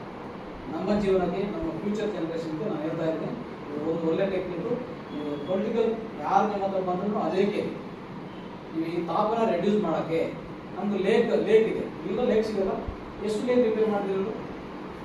ಯಾವುದನ್ನ ಒಂದು ಲೇಕ್ ರಿಪೇರ್ ಮಾಡೋಕ್ಕಾಗ್ತಾ ಇದೆ ಆ ಲೇಕ್ ಬಿಟ್ಬಿಟ್ಟಿದ್ದಾರೆ. ಏನೋ ಒಂದು ಕ್ಲೀನಿಂಗ್ ಇಲ್ಲ. ಒಳ್ಳೆ ವಾಟರ್ ಇಲ್ಲ ಅಲ್ಲಿ. ಎಷ್ಟೋ ಪಕ್ಷಿಗಳು, ಹಕ್ಕಿಗಳು ಎಲ್ಲ ಬರ್ತಾ ಇರ್ತದೆ. ಅದಕ್ಕೆ ಕುಡಿಯೋಕೆ ನೀರಿಲ್ಲ, ಜಂತುಗೂ ನೀರಿಲ್ಲ. ಏನು ಮಾಡಕ್ ಏನು ಮಾಡಕ್ ಹೋಗ್ತಾ ಇಲ್ಲ. ಈ ಭೂಮಿನೇ ನಾವು ಕಾಪಾಡ್ಕೊಳ್ಳೋಕ್ಕೂ ನಮ್ದು ಒಬ್ಬರದೇ ಸೊತ್ತಿಲ್ಲ ಇದು. ನಮ್ಮ ಸೊತ್ತು ಅಂತ ಅನ್ಕೊಂಡು ತಪ್ಪೋದು. ತಪ್ಪು ಕಲ್ಪನೆ. ಎಲ್ಲರೂ ಸೊತ್ತಿದ್ರು.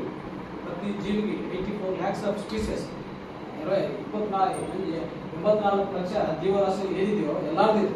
ಓಕೆ ಅದಕ್ಕೋಸ್ಕರ ಇದೊಂದು ಮಾಡಿ. ನೆಕ್ಸ್ಟ್ ಆಮೇಲೆ ನೇಚರ್ ಫಾರ್ಮಿಂಗ್ ಏನಿಲ್ಲ ನೇಚರ್ ಫಾರ್ಮಿಂಗ್ ಅನ್ನೋದು ನಮಗೆ ಭೂಮಿ ಕಾಪಾಡ್ಕೊಳ್ಳೋಕೆ ಇದೊಂದು ಟೆಕ್ನಿಕ್ ಇದೊಂದು ಸ್ಟೆಪ್ ಅಂದರೆ ಈ ನಮ್ಮ ದೇಶೀಯ ಹಸು ಹಸು ಇಸ್ಕೊಂಡು ದೇಶೀಯ ಹಸುವಿನಿಂದ ಬರುವಂಥ ಘನಾಮೃತ, ಬೀಜಾಮೃತ ಏನೇನು ಬರ್ತದೋ, ಜೀವಾಮೃತ, ಏನೇನು ಬರ್ತದೋ ಇದನ್ನೆಲ್ಲ ಯೂಸ್ ಮಾಡಿಕೊಂಡು ಅದು ಗಂಜಲೆ ಅದು ಗಂಜಲೆ, ಅದು ಗುಣಸೆಗ್ನೆ ಇದೆಲ್ಲ ಯೂಸ್ ಮಾಡಿಕೊಂಡು ಒಳ್ಳೆ ರೆಡಿ ಮಾಡ್ಕೊಳ್ಳೋದು ನಿಮಗೆಲ್ಲ ಟೆಕ್ನಿಕ್ ತೋರಿಸ್ತೀವಿ. ಇನ್ನೂ ಒಳ್ಳೆ ಒಳ್ಳೆ ನಾಲೆಡ್ಜ್ ಇದೆ ಅದ್ರ ಬಗ್ಗೆ ತಿಳ್ಕೊಳ್ಳೋಕ್ಕೆ ತಿಳ್ಕೊಂಡು ನಿಮ್ಮ ಸುತ್ತಮುತ್ತ ಇರೋದು ನಿಮಗೆ ಏನಾದರೂ ಜಮೀನು ಇದ್ರು ನಿಮ್ಮ ಜಮೀನಲ್ಲಿ ನೀವು ಮಾಡ್ಕೊಳ್ಳೋಲ್ಲ ಸಿ ಯೂಸ್ ಮಾಡಿಕೊಂಡು ಖಂಡಿತವಾಗಿ ಒಂದು ನಮ್ಮ ದೇಶೀಯ ಹಸು ನಮ್ಮ ಇರಬೇಕು. ಅದು ವೆರಿ ವೆರಿ ಇಂಪಾರ್ಟೆಂಟ್ ಕೆಮಿಕಲ್ಸ್ ಬೇಡ ಪೆಟ್ರೋಲ್ಸ್ ಇದೆಲ್ಲ ಇದೆಲ್ಲ ಏನು ಬೇಕಾಗಿಲ್ಲ.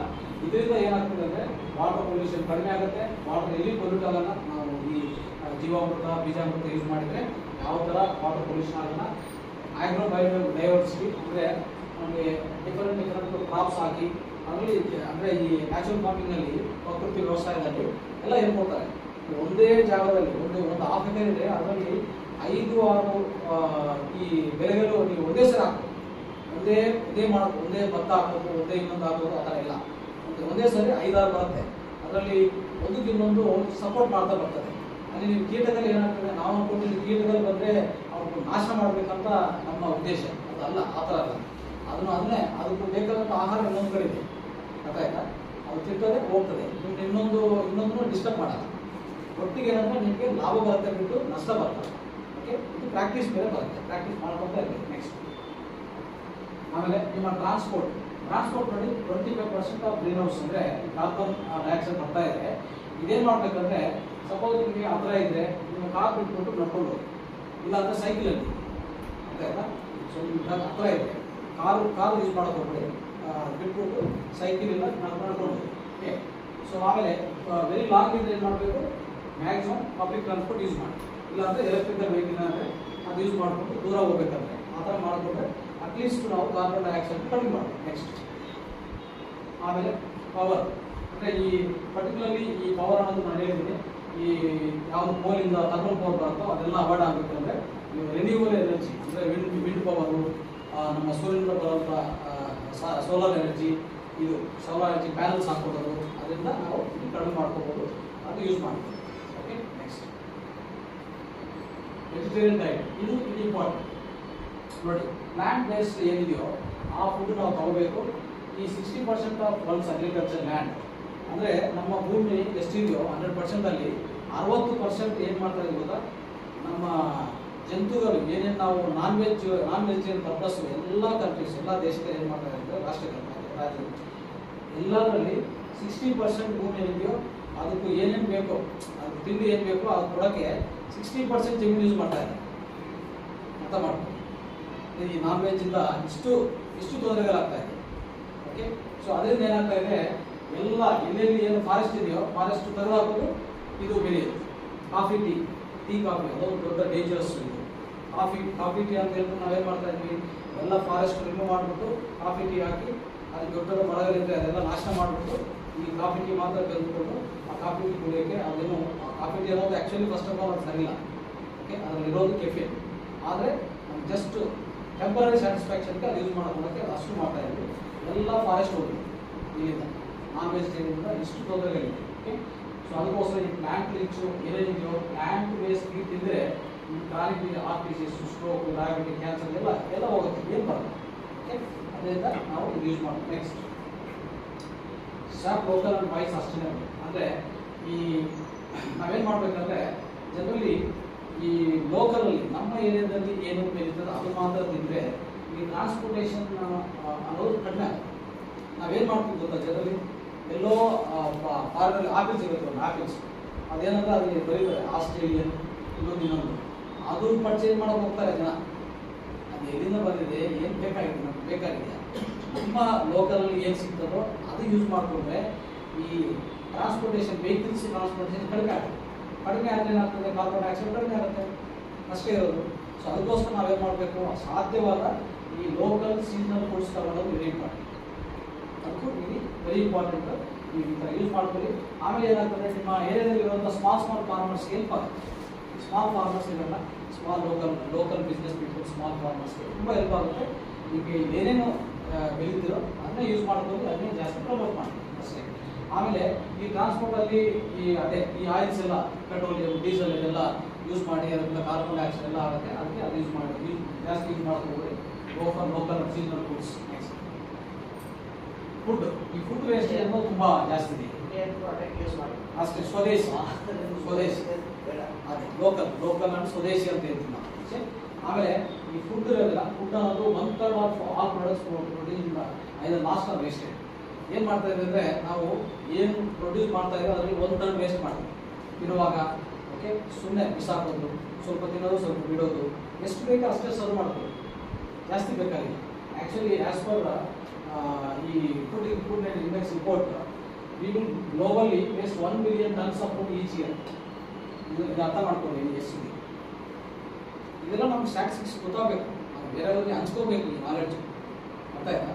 ಇದೆಲ್ಲ ನಾವು ಇದೇ ಮತ್ತೆ ನಾವು ಗ್ರೂಪಲ್ಲಿ ಹಾಕ್ತೀವಿ ರಿಪೋರ್ಟ್ ಇದೆಲ್ಲ ಯಾರನ್ನ ಹೇಳಿ, ಇಷ್ಟೆಲ್ಲ ಮಾಡ್ತಾ ಇದ್ವಿ ವೇಸ್ಟ್ ಮಾಡೋದು ಹೋಗ್ಬಿಡಿ ಅಂತ ಹೇಳಿ. ಏಯ್ಟ್ ಟು ಟೆನ್ ಪರ್ಸೆಂಟ್ ಅಂದರೆ ಈ ವೇಸ್ಟೇಜಿಂದ ಈ ವೇಸ್ಟೇಜ್ ಬಿಸಾಕಿದ್ರೆ ಸುಮ್ಮನೆ ಹೋಗಲ್ಲ. ಅದರಿಂದ ಕಾರ್ಬನ್ ಡೈಆಕ್ಸೈಡ್ ಮೇಲೆ ಬರ್ತದೆ. ಯಾಕಂದರೆ ಅದೆಲ್ಲ ವೇಸ್ಟೇಜ್ ಅಲ್ಲ. ಅದನ್ನು, ಅದರಿಂದ ಬರುವಂಥ carbon dioxide eight to ten percent contribution okay ಪೊಲ್ಯೂಷನ್ಗೆ next ಆಮೇಲೆ ಬ್ಲ್ಯಾಕ್ ಟ್ರೀಸ್ ಎವ್ರಿ ಇಯರ್ ನೋಡ್ಕೊಳ್ಳಿ approximately twelve million twelve million hectares of forest are destroyed due to the deforestation agriculture and other development of cities rapidly ಇದು ಇದೊಂದು ಇದೊಂದು important ಇದು actually ಅಂದರೆ twelve million ಅಂದರೆ one million ಅಂದರೆ ten lakhs ಅಂದರೆ one point to crores ಅಷ್ಟು ಮರಗಳು ನಾವು ತೆಗಿತಾ ಪ್ರತಿ ಒಂದು ಇಯರ್ ಇಷ್ಟ ಆಗ್ತಾ ಇದೆ ಇದು ರೆಸ್ಪಾನ್ಸಿಬಲ್ ಅಂದರೆ ಆಲ್ಮೋಸ್ಟ್ ಟ್ವೆಂಟಿ ಫೈವ್ ಪರ್ಸೆಂಟ್ ಈ ಗ್ಲೋಬಲ್ ಗ್ರೀನ್ ಹೌಸ್ ಗ್ಯಾಸಸ್ ಇಂದ ಅಂದರೆ ಅದಕ್ಕೆ ನಾನು ಹೇಳ್ತೀನಿ ಇದೇನಂದರೆ every family need to plant one tree ಇದು ನಮ್ಮ ಪ್ರತಿ ಒಂದು, ಅಂದರೆ ಒನ್ ಒನ್ ಟ್ರೀ ನಾವು, ಅಂದರೆ ಒಂದು ಮರ ನಾವು ಎದ್ದಿದ್ರೆ ಏನಾಗ್ತದೆ? ನಾಲ್ಕು ಜನಗೆ ಬೇಕಾಗಿರುವಂಥ ಆಕ್ಷನ್ ಕೊಡುತ್ತೆ. ಒಂದು ಒಂದು ಒಂದು ಮರ ನಾಲ್ಕು ಜನಗೆ ನಾಲ್ಕು ನಾಲ್ಕು ಜನಕ್ಕೆ ಆಕ್ಷನ್ ಬೇಕಾದಂಥ ಆಕ್ಷನ್ ಕೊಡೋದು. ಸೊ ಅದಕ್ಕೋಸ್ಕರ ಪ್ರತಿಯೊಂದು ಇವತ್ತು ದಿನ ಮೊದಲ ದಿವಸ ನಾವೆಲ್ಲರೂ ಪ್ರಾಮಿಸ್ ತಗೊಳ್ಳೋಣ ಒಬ್ಬೊಬ್ಬರು ಒಂದು ರೀಚ್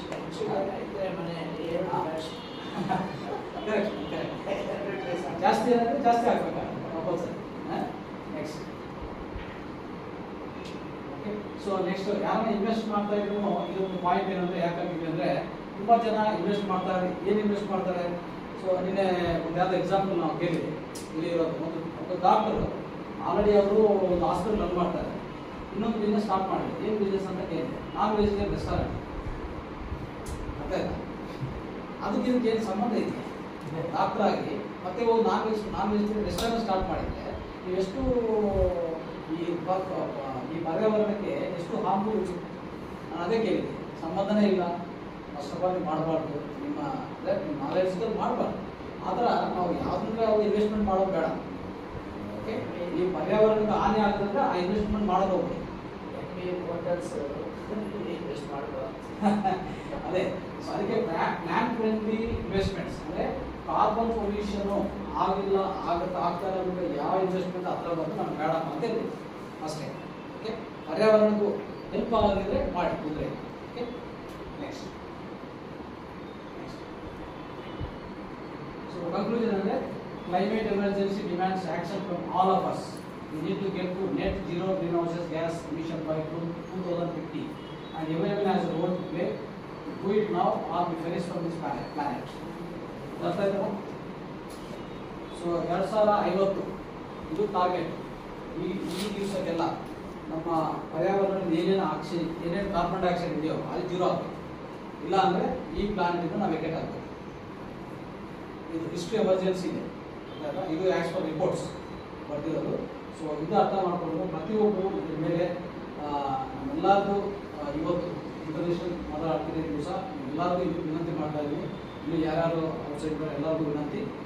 ಕಂಪಲ್ಸರಿ ಪ್ರತಿಯೊಬ್ಬರು ನಮ್ಮ ಮರ ಬೆಳೆಯೋದು, ಸಾವಯವ ಕೃಷಿ ಮಾಡೋದು, ಸಾವಯವ ಕೃಷಿಯಿಂದ ಬಂದಿರುವಂಥ ಪ್ರಾಡಕ್ಟ್ಸ್ ಮಾತ್ರ ಯೂಸ್ ಮಾಡೋದು, ಇಂಥ ಒಳ್ಳೆಯ ಒಳ್ಳೆಯ ಆ್ಯಕ್ಟಿವಿಟೀಸು ಎಲ್ಲ ಪ್ಲಾನೆಟ್ ಫ್ರೆಂಡ್ಲಿ ಮತ್ತು ಪ್ಲಾಂಟ್ ಬೇಸ್ಡ್ ಫ್ರೆಂಡ್ಲಿ ಇಂಥ ಇಂಥದ್ದು ನಾವು ಎಲ್ಲ ಆ, ಈ ಆ್ಯಕ್ಟಿವಿಟೀಸ್ ಮಾಡಿಕೊಂಡು ಈ ಭೂಮಿ ನಾವು ಕಾಪಾಡಿಕೊಂಡ್ರೆ ನಮ್ಗೆಲ್ಲರಿಗೂ ಅವಕಾಶ ಸಿಗುತ್ತೆ ನಮ್ಮ ಫ್ಯೂಚರ್ ಜನ್ರೇಷನ್ಗೂ ನಾವು ಇಲ್ಲಿ ಅವಕಾಶ ಸಿಗುತ್ತೆ ಇಲ್ಲ ಅಂದರೆ ಕಷ್ಟ ಆಗುತ್ತೆ ಹೇಳ್ಬಿಟ್ಟು so next so thank you very much thank you thank you ಎರಡು ನಿಮಿಷ ಮಾತಾಡ್ಬೋದಾ ಎಸ್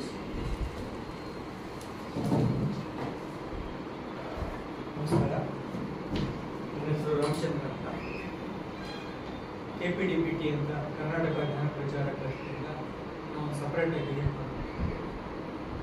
ಪತ್ರಿಜಿಯವರು ನಮಗೆ ಸ್ಕೂಲು ಕಾಲೇಜ್ಗಳಿಗೆ ಹೋಗಿ ಮೆಡಿಟೇಷನ್ ಹೇಳ್ಕೊಡಿ ಅಂತ ಹೇಳಿದೆ ಸರ್ ನಾವು ಕಾಲೇಜ್ಗೆ ಹೋಗ್ತಾ ಇದ್ದೀವಿ ಸ್ಕೂಲ್ಗೆ ಶಿವರಾಮ್ ಅಪ್ಪ ಅವ್ರು ಮಾಡ್ತಾರೆ ಕಾಲೇಜ್ ಬಂದರೆ ಅವ್ರು ಏನು ಹೇಳ್ತಾ ಇದ್ರು ಅಂದರೆ ಸೆಮಿಸ್ಟರ್ ಸಿಸ್ಟಮ್ ಇದೆ. ಮೆಡಿಕಲ್ ಕಾಲೇಜ್ನ ನಮ್ಗೆ ಸೇರಿಸೋದಿಲ್ಲ ಪತ್ರಿಜಿಯವರು ಹೇಳಿದ್ರು ಮೆಡಿಕಲ್ ಕಾಲೇಜ್ಗೆ ಹೋಗ್ಬೇಡಿ. ಅವ್ರು ಅವರು ಪಾಯ್ಸನ್ ಆಗ್ತಾರೆ ಮೆಡಿಸಿನ್ ಅಂತ ಹೇಳ್ತಾರೆ, ಅವ್ರ ಹತ್ರ ಹೋಗ್ಲೇಬೇಕು.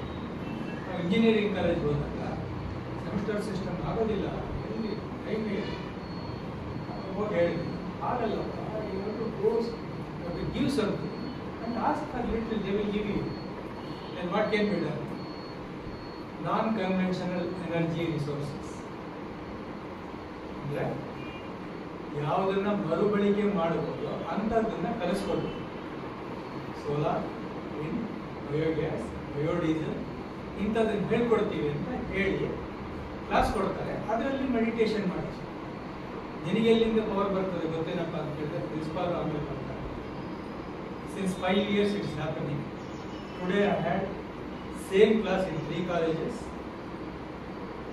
ಎಲ್ಲ ಎಲ್ಲ ಕಾಲೇಜಲ್ಲೂ ಬಯೋಗ್ಯಾಸ್ ಯೂಸ್ ಮಾಡ್ತಾ ಇದ್ದಾರೆ ಬಯೋಡೀಸೆಲ್ ಯೂಸ್ ಮಾಡ್ತಾ ಇದ್ದಾರೆ ಸೋಲಾರ್ ಹಾಕೊಂಡಿದ್ದಾರೆ ಬಿಟ್ ಹಾಕೊಂಡಿದ್ದಾರೆ ಅವರ ಹಾಸ್ಟೆಲ್ನಲ್ಲಿ ಎಷ್ಟು ವೇಸ್ಟ್ ಮಾಡ್ತಾ ಇದ್ದಾರೆ ಹುಡುಗರು. ಅದರಿಂದ ಗ್ಯಾಸ್ ಉತ್ಪತ್ತಿ ಮಾಡಿ, ಅದರಿಂದ ಜನರೇಟರ್ ಓಡಿಸಿ ಕರೆಂಟ್ ಸೊ ಇದು ಪತ್ರಿಜಿಯವರು ನಾನು ಆಗಲ್ಲ ಅಂತ ಸರ್, ನಾನು ನ್ಯಾಚುರಲ್ ಸೈನ್ಸ್ ಸ್ಟೂಡೆಂಟ್ ಎಲೆಕ್ಟ್ರಿಸಿಟಿ ಅವಾಗ ಓದಿದ್ದು ನಿಮ್ಮ ಮಾರ್ಕ್ಸ್ ಈಗ ಬೇಕಾಗಿದೆ, ಓದು. ಪೊಲ್ಯೂಷನ್ ಎಷ್ಟು ಕಮ್ಮಿ ಆಗುತ್ತೆ ಎಲೆಕ್ಟ್ರಿಕ್ ವೆಹಿಕಲ್ಸ್ ಯೂಸ್ ಮಾಡಬೇಕು ಅಲ್ವಾ? ಸೊ ಇದೆಲ್ಲ ಮಾಡಿದ್ಮೇಲೆ ನಮ್ಗೆ ಏನು ಅನ್ನಿಸ್ತು? ಹೊರಗಡೆ ಸಾಲು ಮರದ ತೆಂಬಾಕ ಅಂತ ಗೊತ್ತಲ್ಲ? ಹೇಳಿದ್ದೀರಾ ಅವರಲ್ಲೆಲ್ಲ ಮರ ಬೆಳೆಸ್ತಾರೆ. ನಾವು ಇಲ್ಲಿ ಇರೋ ಮರ ಎಲ್ಲ ಕಟ್ ಮಾಡಿಕೊಂಡು ಫ್ಲೈಓವರು ಮೆಟ್ರೋ ಎಲ್ಲ ಹಾಕ್ಬಿಡ್ತೀವಿ ಅದಕ್ಕೆ ಪ್ರತಿಯೊಂದು ಅಪಾರ್ಟ್ಮೆಂಟ್ ಹೋಗಿ ನಾವು ನಿಮ್ದು ಸಿವರೇಜ್ ವಾಟರ್ ಇರುತ್ತೆ ಅದಕ್ಕೊಂದು ಸಪ್ರೇಟ್ ಲೈಟ್ ರೀಸೈಕಲ್ ಮಾಡಿ, ಮೇಲ್ಗಡೆ ಕಿಚನ್ ಗಾರ್ಡನ್ ಮರ ಅಂತೂ ಹಾಕ್ಬೇಕಾಗುತ್ತೆ ಅಪಾರ್ಟ್ಮೆಂಟ್ ಆಗೋಗ್ಬಿಟ್ಟಿದೆ. ಒಂದೆರಡು ಮರ ಬರುವ ಜನ ಎಷ್ಟಿಲ್ಲ. ಕಿಚನ್ ಗಾರ್ಡನ್ ಮಾಡಿ ಈ ನೀರನ್ನು ದಯವಿಟ್ಟು ನದಿ ಬಿಡಬೇಕು. ಕೆಂಗೇರಿ ಹತ್ರ ಹರಿತಾ ಇದ್ದಿತ್ತು. ಒಳ್ಳೆ ಕುಡಿಯೋ ನೀರಿಂದ ನದಿ ಇವತ್ತು ಮೈಸೂರಿಂದ ಬರ್ತಾ ಕೆಟ್ಟ ವಾಸನೆ ಬಂತು ಅಂದ್ರೆ ಬೆಂಗಳೂರು ಬಂದಪ್ಪ. ಆ ಪರಿಸ್ಥಿತಿಗೆ ಹೋಗ್ಬಾರ್ದು ಅದನ್ನು ರೀಸೈಕಲ್ ಮಾಡಬೇಕು ನಾವೆಲ್ಲ ಮಾಡಿದ್ವಿ. ಜೊತೆಯಲ್ಲಿ ಮನೆಯಲ್ಲಿ ಮನೆ ಒಳಗಡೆ ಸ್ವಲ್ಪ ಪ್ಲಾಂಟ್ಸ್ ಒಂದು ಲೈಟ್ ಒಂದು ಕಿಲೋವ್ಯಾಟು ನೀವು ಒನ್ ಅವರ್ ಯೂಸ್ ಮಾಡಿದ್ರೆ ಅಲ್ಲಿ ಐದು ಕೆ ಜಿಯಷ್ಟು ಕಾರ್ಬನ್ನ ಸುಡ್ತಾರೆ. ನೋಡ್ಬೋದು ಎಷ್ಟಾಗುತ್ತೆ. ಅದನ್ನ ನಿಲ್ಲಿಸ್ಬೇಕು. ಎಲ್ಲರೂ ನಾನ್ ಕನ್ವೆನ್ಷನ್ ಹೋಗ್ಬೇಕು ಹಾಗಾಗಿ, ಆ ಹುಡುಗರು ಬೇಕಾಷ್ಟು ಪ್ರೋಗ್ರಾಮ್ಸ್ ಎಲ್ಲ ಮಾಡ್ತಾ ಇದ್ದಾರೆ. ಈಗ ಡಾನ್ ಬಾಸ್ಕೋ ಇಂಜಿನಿಯರಿಂಗ್ ಕಾಲೇಜಿನವರು ಒಂದು ಪ್ರಾಜೆಕ್ಟ್ ಮಾಡಿದ್ದಾರೆ. ಮನೆ ಒಳಗಡೆನೆ ಇಟ್ಕೊಳ್ಳಿ. ಸೋಲಾರ್ ಅಲ್ಲಿ ಚಾರ್ಜ್ ಮಾಡಿ ಲೈಟ್ ಆಫ್ ಮಾಡಿದ್ದಾರೆ. ಸೋಲಾರ್ ಅಲ್ಲಿ ಚಾರ್ಜ್ ಮಾಡ್ಬೋದು ಲೈಟ್ ಲ್ಯಾಂಪ್ ಥರ ಯೂಸ್ ಮಾಡ್ಬೋದು. ಕೆಳಗಡೆ ಲೈಟ್ಸ್ ಬರುತ್ತೆ. ಬೇರೆ ಮಾಡಲಿಲ್ಲ ಬೇಕಾಗ್ತಾರೆ ಇಲ್ಲಿ ಎರಡು, ಮೂರು ಚಿಕ್ಕ ಚಿಕ್ಕ ಗಿಡಗಳಿಟ್ಕೊಂಡು, ಮನೆ ಒಳಗೆ ಇಟ್ಕೊಂಡು ಆ ಲೈಟ್ ಬರುತ್ತಲ್ಲ, ಯಾವಾಗ ಲೈಟ್ ಬರುತ್ತೆ, ಗಿಡಗಳು ಆಕ್ಸಿಜನ್ ಲೈಟ್ ಇಲ್ಲದೆ ಇದ್ದಾಗ ಅದು ಕೂಡ oxygen carbon dioxide night time ಚೆನ್ನಾಗಿರುತ್ತೆ ಬೆಳಿಗ್ಗೆ ಹೊತ್ತು ನಾರ್ಮಲ್ ಬರೋದು ಬರುತ್ತೆ. ಒಳಗೆ ಒಂದು ಇಟ್ಕೋಬಹುದು ಇದು ನಾನ್ ಕನ್ವೆನ್ಷನ್ ಇದನ್ನ ನೀವು ಸೋಲಾರಿಂದ ಚಾರ್ಜ್ ಮಾಡಿ ಸಣ್ಣ ಸೋಲಾರ್ ಪ್ಯಾನಲ್ ಹೊರಗಡೆ ಇಟ್ಬಿಟ್ಟು ಚಾರ್ಜ್ ಮಾಡಿ ಸೊ ಇದು ನಮ್ಮ ಪತ್ರಿಕೆಯವರು ಹೇಳ್ಕೊಟ್ಟಿದ್ದನ್ನು ನಾವು ಮುಂದುವರಿಸ್ಕೊಂಡು ಹೋಗ್ತಾ ಇದ್ದೀವಿ. ಎಲ್ಲ ಕಾಲೇಜಿನವರು ಮಾಡ್ತಾ ಇದ್ದಾರೆ. ಚಿಕ್ಕ ಕಾಲ ಹೊರಗಡೆ ಒಂದು ಲೈಟ್ ಕೊಟ್ಬಿಟ್ರೆ ಪೊಲ್ಯೂಷನ್ ಆಗುತ್ತೆ ಆಕ್ಸಿಜನ್ ಕೊಡುತ್ತೆ ನೈಟ್ ಲ್ಯಾಂಪ್ ಆಗುತ್ತೆ ಎದ್ದು ನೋಡಿದ ತಕ್ಷಣ ಪಿರ್ಮಿಡ್ ಕಾಣುತ್ತೆ ಪಿರ್ಮಿಡ್ದು ಅದರದಂತೂ ನಾನೇನು ಹೇಳೋದು ಮನೇಲಿ ಹೋಗ್ಬೇಕು. ಇಂಥದ್ದನ್ನು ನಾವು ಈಗ ಬುದ್ಧ ಪೌರ್ಣಿಮೆಯಲ್ಲಿ ತುಂಬ ಪ್ರಾಡಕ್ಟ್ಸ್ ಎಲ್ಲ ಇರ್ತಾ ಇದೆ. ಇವಾಗ ಎ ಸಿ ಕೂಡ, ನಾವು ಎ ಸಿ ಯೂಸ್ ಮಾಡ್ತೀವಿ. ಫ್ಲೋರೋ ಫೋರೋ ಕಾರ್ಬನ್ ಅಂತ. ಅದರಂತ ಕೆಟ್ಟದ್ದು ಯಾವುದಿಲ್ಲ. ಬೆಂಗಳೂರಿನಲ್ಲಿ ಫ್ಯಾನ್ ಆಗ್ತಾನೆ ಇರಲಿಲ್ಲ ಸರ್. ಬಟ್ಟೆ ಬೆಳೆದಿದ್ದೆಲ್ಲ ಬೆಂಗಳೂರಿನಲ್ಲಿ. ಒಂದು ಹತ್ತು ದಿನ ಸೆಕೆ ಅಷ್ಟೇ. ಆಮೇಲೆ ಮಳೆ ಬಂತು. ಈಗ ಡಿಸೆಂಬರಲ್ಲಿ ಫ್ಯಾನ್ ಆಗಿದೆ ಆ ಪರಿಸ್ಥಿತಿ ಬಂದಾಗಿದೆ. ಎಲೆಕ್ಟ್ರಿಕ್ ವೆಹಿಕಲ್ಸ್ ಬರ್ತಾ ಇದ್ರೆ ಚೇಂಜಸ್ ಆಗ್ತಾ ಈಗ ಸೋಡಿಯಂ ಬ್ಯಾಟರಿ ಆಗುವಂಥದ್ದು ಬರ್ತಾ ಇದೆ. ಲಿಥಿಯಂ ಅಯಾನ್ನಲ್ಲಿ ಬರ್ತಾ ಇತ್ತು ಪೆಟ್ರೋಲ್ ಕೊಡೋ ದುಡ್ಡು ಲಿಥಿಯಂ ಕೊಡಬೇಕಾಗಿತ್ತು ಸೊ ಅದು ತಪ್ಪಿಸೋದಕ್ಕೆಲ್ಲ ಆಗ್ತಾ ಇದೆ. ಒಳ್ಳೆ ಕೆಲಸಗಳು ಆಗ್ತಾ ಇದೆ ಕೆಲಸ ಆದರೆ ನಾವು ಒಂದು ಕೈ ಜೋಡಿಸಿ. ಪತ್ರಿಕೆಯವರು ನಮ್ಗೆ ಇಷ್ಟೊಂದು ಹೇಳ್ಕೊಟ್ಟಿದ್ದೀವಿ ನಾವು ಎಂತ ಸರ್ ನನ್ನ ಕೈಲಾಗಲ್ಲ, ಸರ್, ನಾನು ಓದಿರೋದು ಬಯಾಲಜಿ ಇದೆಲ್ಲ ನಾನು ಮಾಡಲ್ಲ. ಆಗ ನೀನು ಓದಿದ್ದು ಎಕ್ಸಾಮ್ಗೆ ನಿನ್ನ ಮಗನಿಗೆ ಪಾಠ ಕೊಡುವಾಗಲೇ ನೀನು ಸರಿಯಾಗಿ ಈಗ ನೀನು ಕಲ್ತ್ಕೋ ಅವ್ರಿಗೆ ಹೇಳು. ಇವತ್ತು ಎಂ ಟೆಕ್ ಸ್ಟೂಡೆಂಟ್ಸ್ಗಳಿಗೂ ನಾವು ಮಾತಾಡ್ತೀವಿ ಹಾಗಾಗಿ ನಾವು ಒಂದು ಗ್ರೂಪ್ ಡೆವಲಪ್ ಮಾಡ್ತಾ ಇದ್ದೀವಿ. ಅದರಿಂದ ನೀವು ಅಷ್ಟೇ ಆದಷ್ಟು ಇದನ್ನು ಕಮ್ಮಿ ಮಾಡಿ. ನೆಸೆಬಿಲಿಟಿ ಎಲ್ಲ ಆಫ್ ಮಾಡಿ ಯಾವಾಗ ಬೇಕೋ ಅವಾಗ ಒಂದೆರಡು ಮೂರು ಗಿಡ ಹಾಕಿದ್ರೆ ಕಿಚನ್ ಗಾರ್ಡನ್ ಮಾಡಿ ಎಷ್ಟು ಹಸಿರಿರುತ್ತೆ ಅಷ್ಟು ಉಸಿರು ಬರುತ್ತೆ. ಹಾಗಾಗಿ ಇವಾಗ ಸಾರ್ ಹೇಳಿದ್ರಲ್ಲ ಸಾರ್ ಹೇಳಿದಾಗ ಪತ್ರಿಕೆಯವರೇ ಹೇಳಿದ್ದಂತೆ ಸರ್ ಇದು. ಮೂರು ಮಕ್ಕಳಿದ್ರು.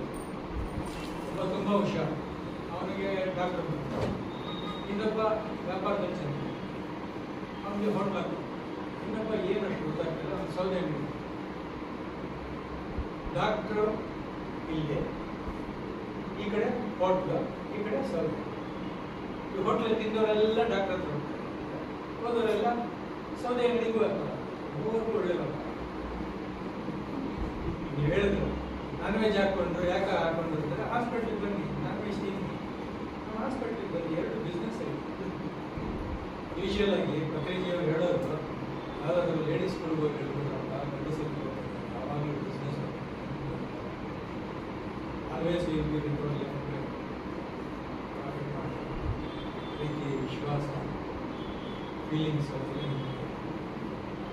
ತುಂಬ ಥ್ಯಾಂಕ್ಸ್ ಇಂಥ ಒಳ್ಳೆ ಜಾಗನ ನಾವು ಮಾಡಿದ್ದೀರ? ಪ್ರತಿ ಶನಿವಾರ, ಭಾನುವಾರ ಹೆಸರು ಮಾಡಿದ್ದೀವಿ ಇನ್ನೂ ಹೆಚ್ಚು ಹೆಚ್ಚು ಜನ ಕಲಿಸ್ಬೋದು ತುಂಬ ಇಂಪ್ರೂವ್ ಆಗ್ತದೆ ಉಪಯೋಗಿಸ್ಕೊಳ್ಳೋದು ಕಮ್ಮಿ ಆಗ್ತದೆ ಆದರೆ ಬರ್ತಾ ಇಲ್ಲ. ಈಗೀಗ ಬರ್ತಾ ಇಲ್ಲ ಮೊದಲು ಒಂದು ಇಪ್ಪತ್ತು ವರ್ಷದ ಹಿಂದೆ ಹೋದರೆ ಯಾವ ಸ್ಪಿರಿಚುವಲ್ ಇದಕ್ಕೆ ಹೋದ್ರು ಎಲ್ಲ ವಯಸ್ಸಾದವರು ಎಲ್ಲಿ ಸ್ಪಿರಿಚುವಲ್ ಆದರೂ ಅದೇ ಬಂದಿದ್ರೆ ಅವರೇ ಬಂದು ಮುಂದೆ ಕೂತ್ಕೊಳ್ತಾರೆ.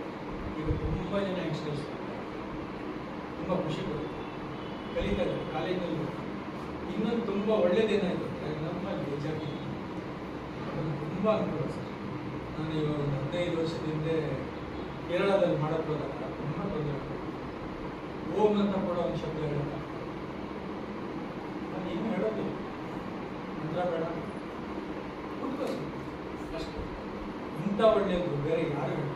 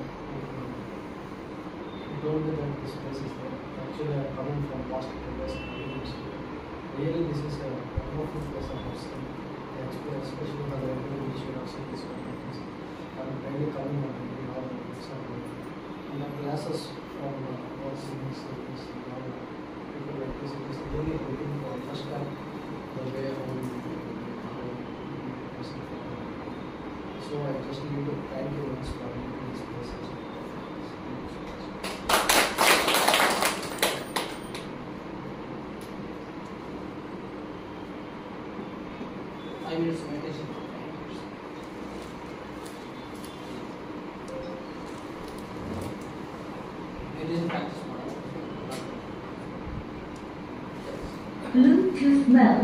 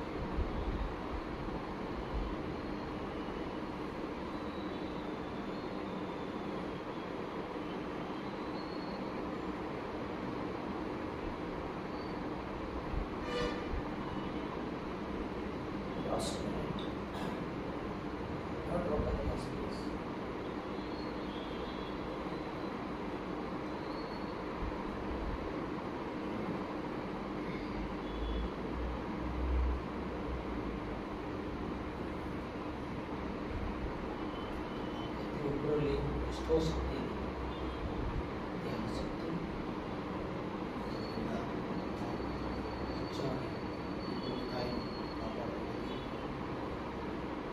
수족관 사람은 일본이 사업해와라 수족관 사람은 나로 일본도 나비 나는 그렇게 나로 멈추고 나로 나로 지원하다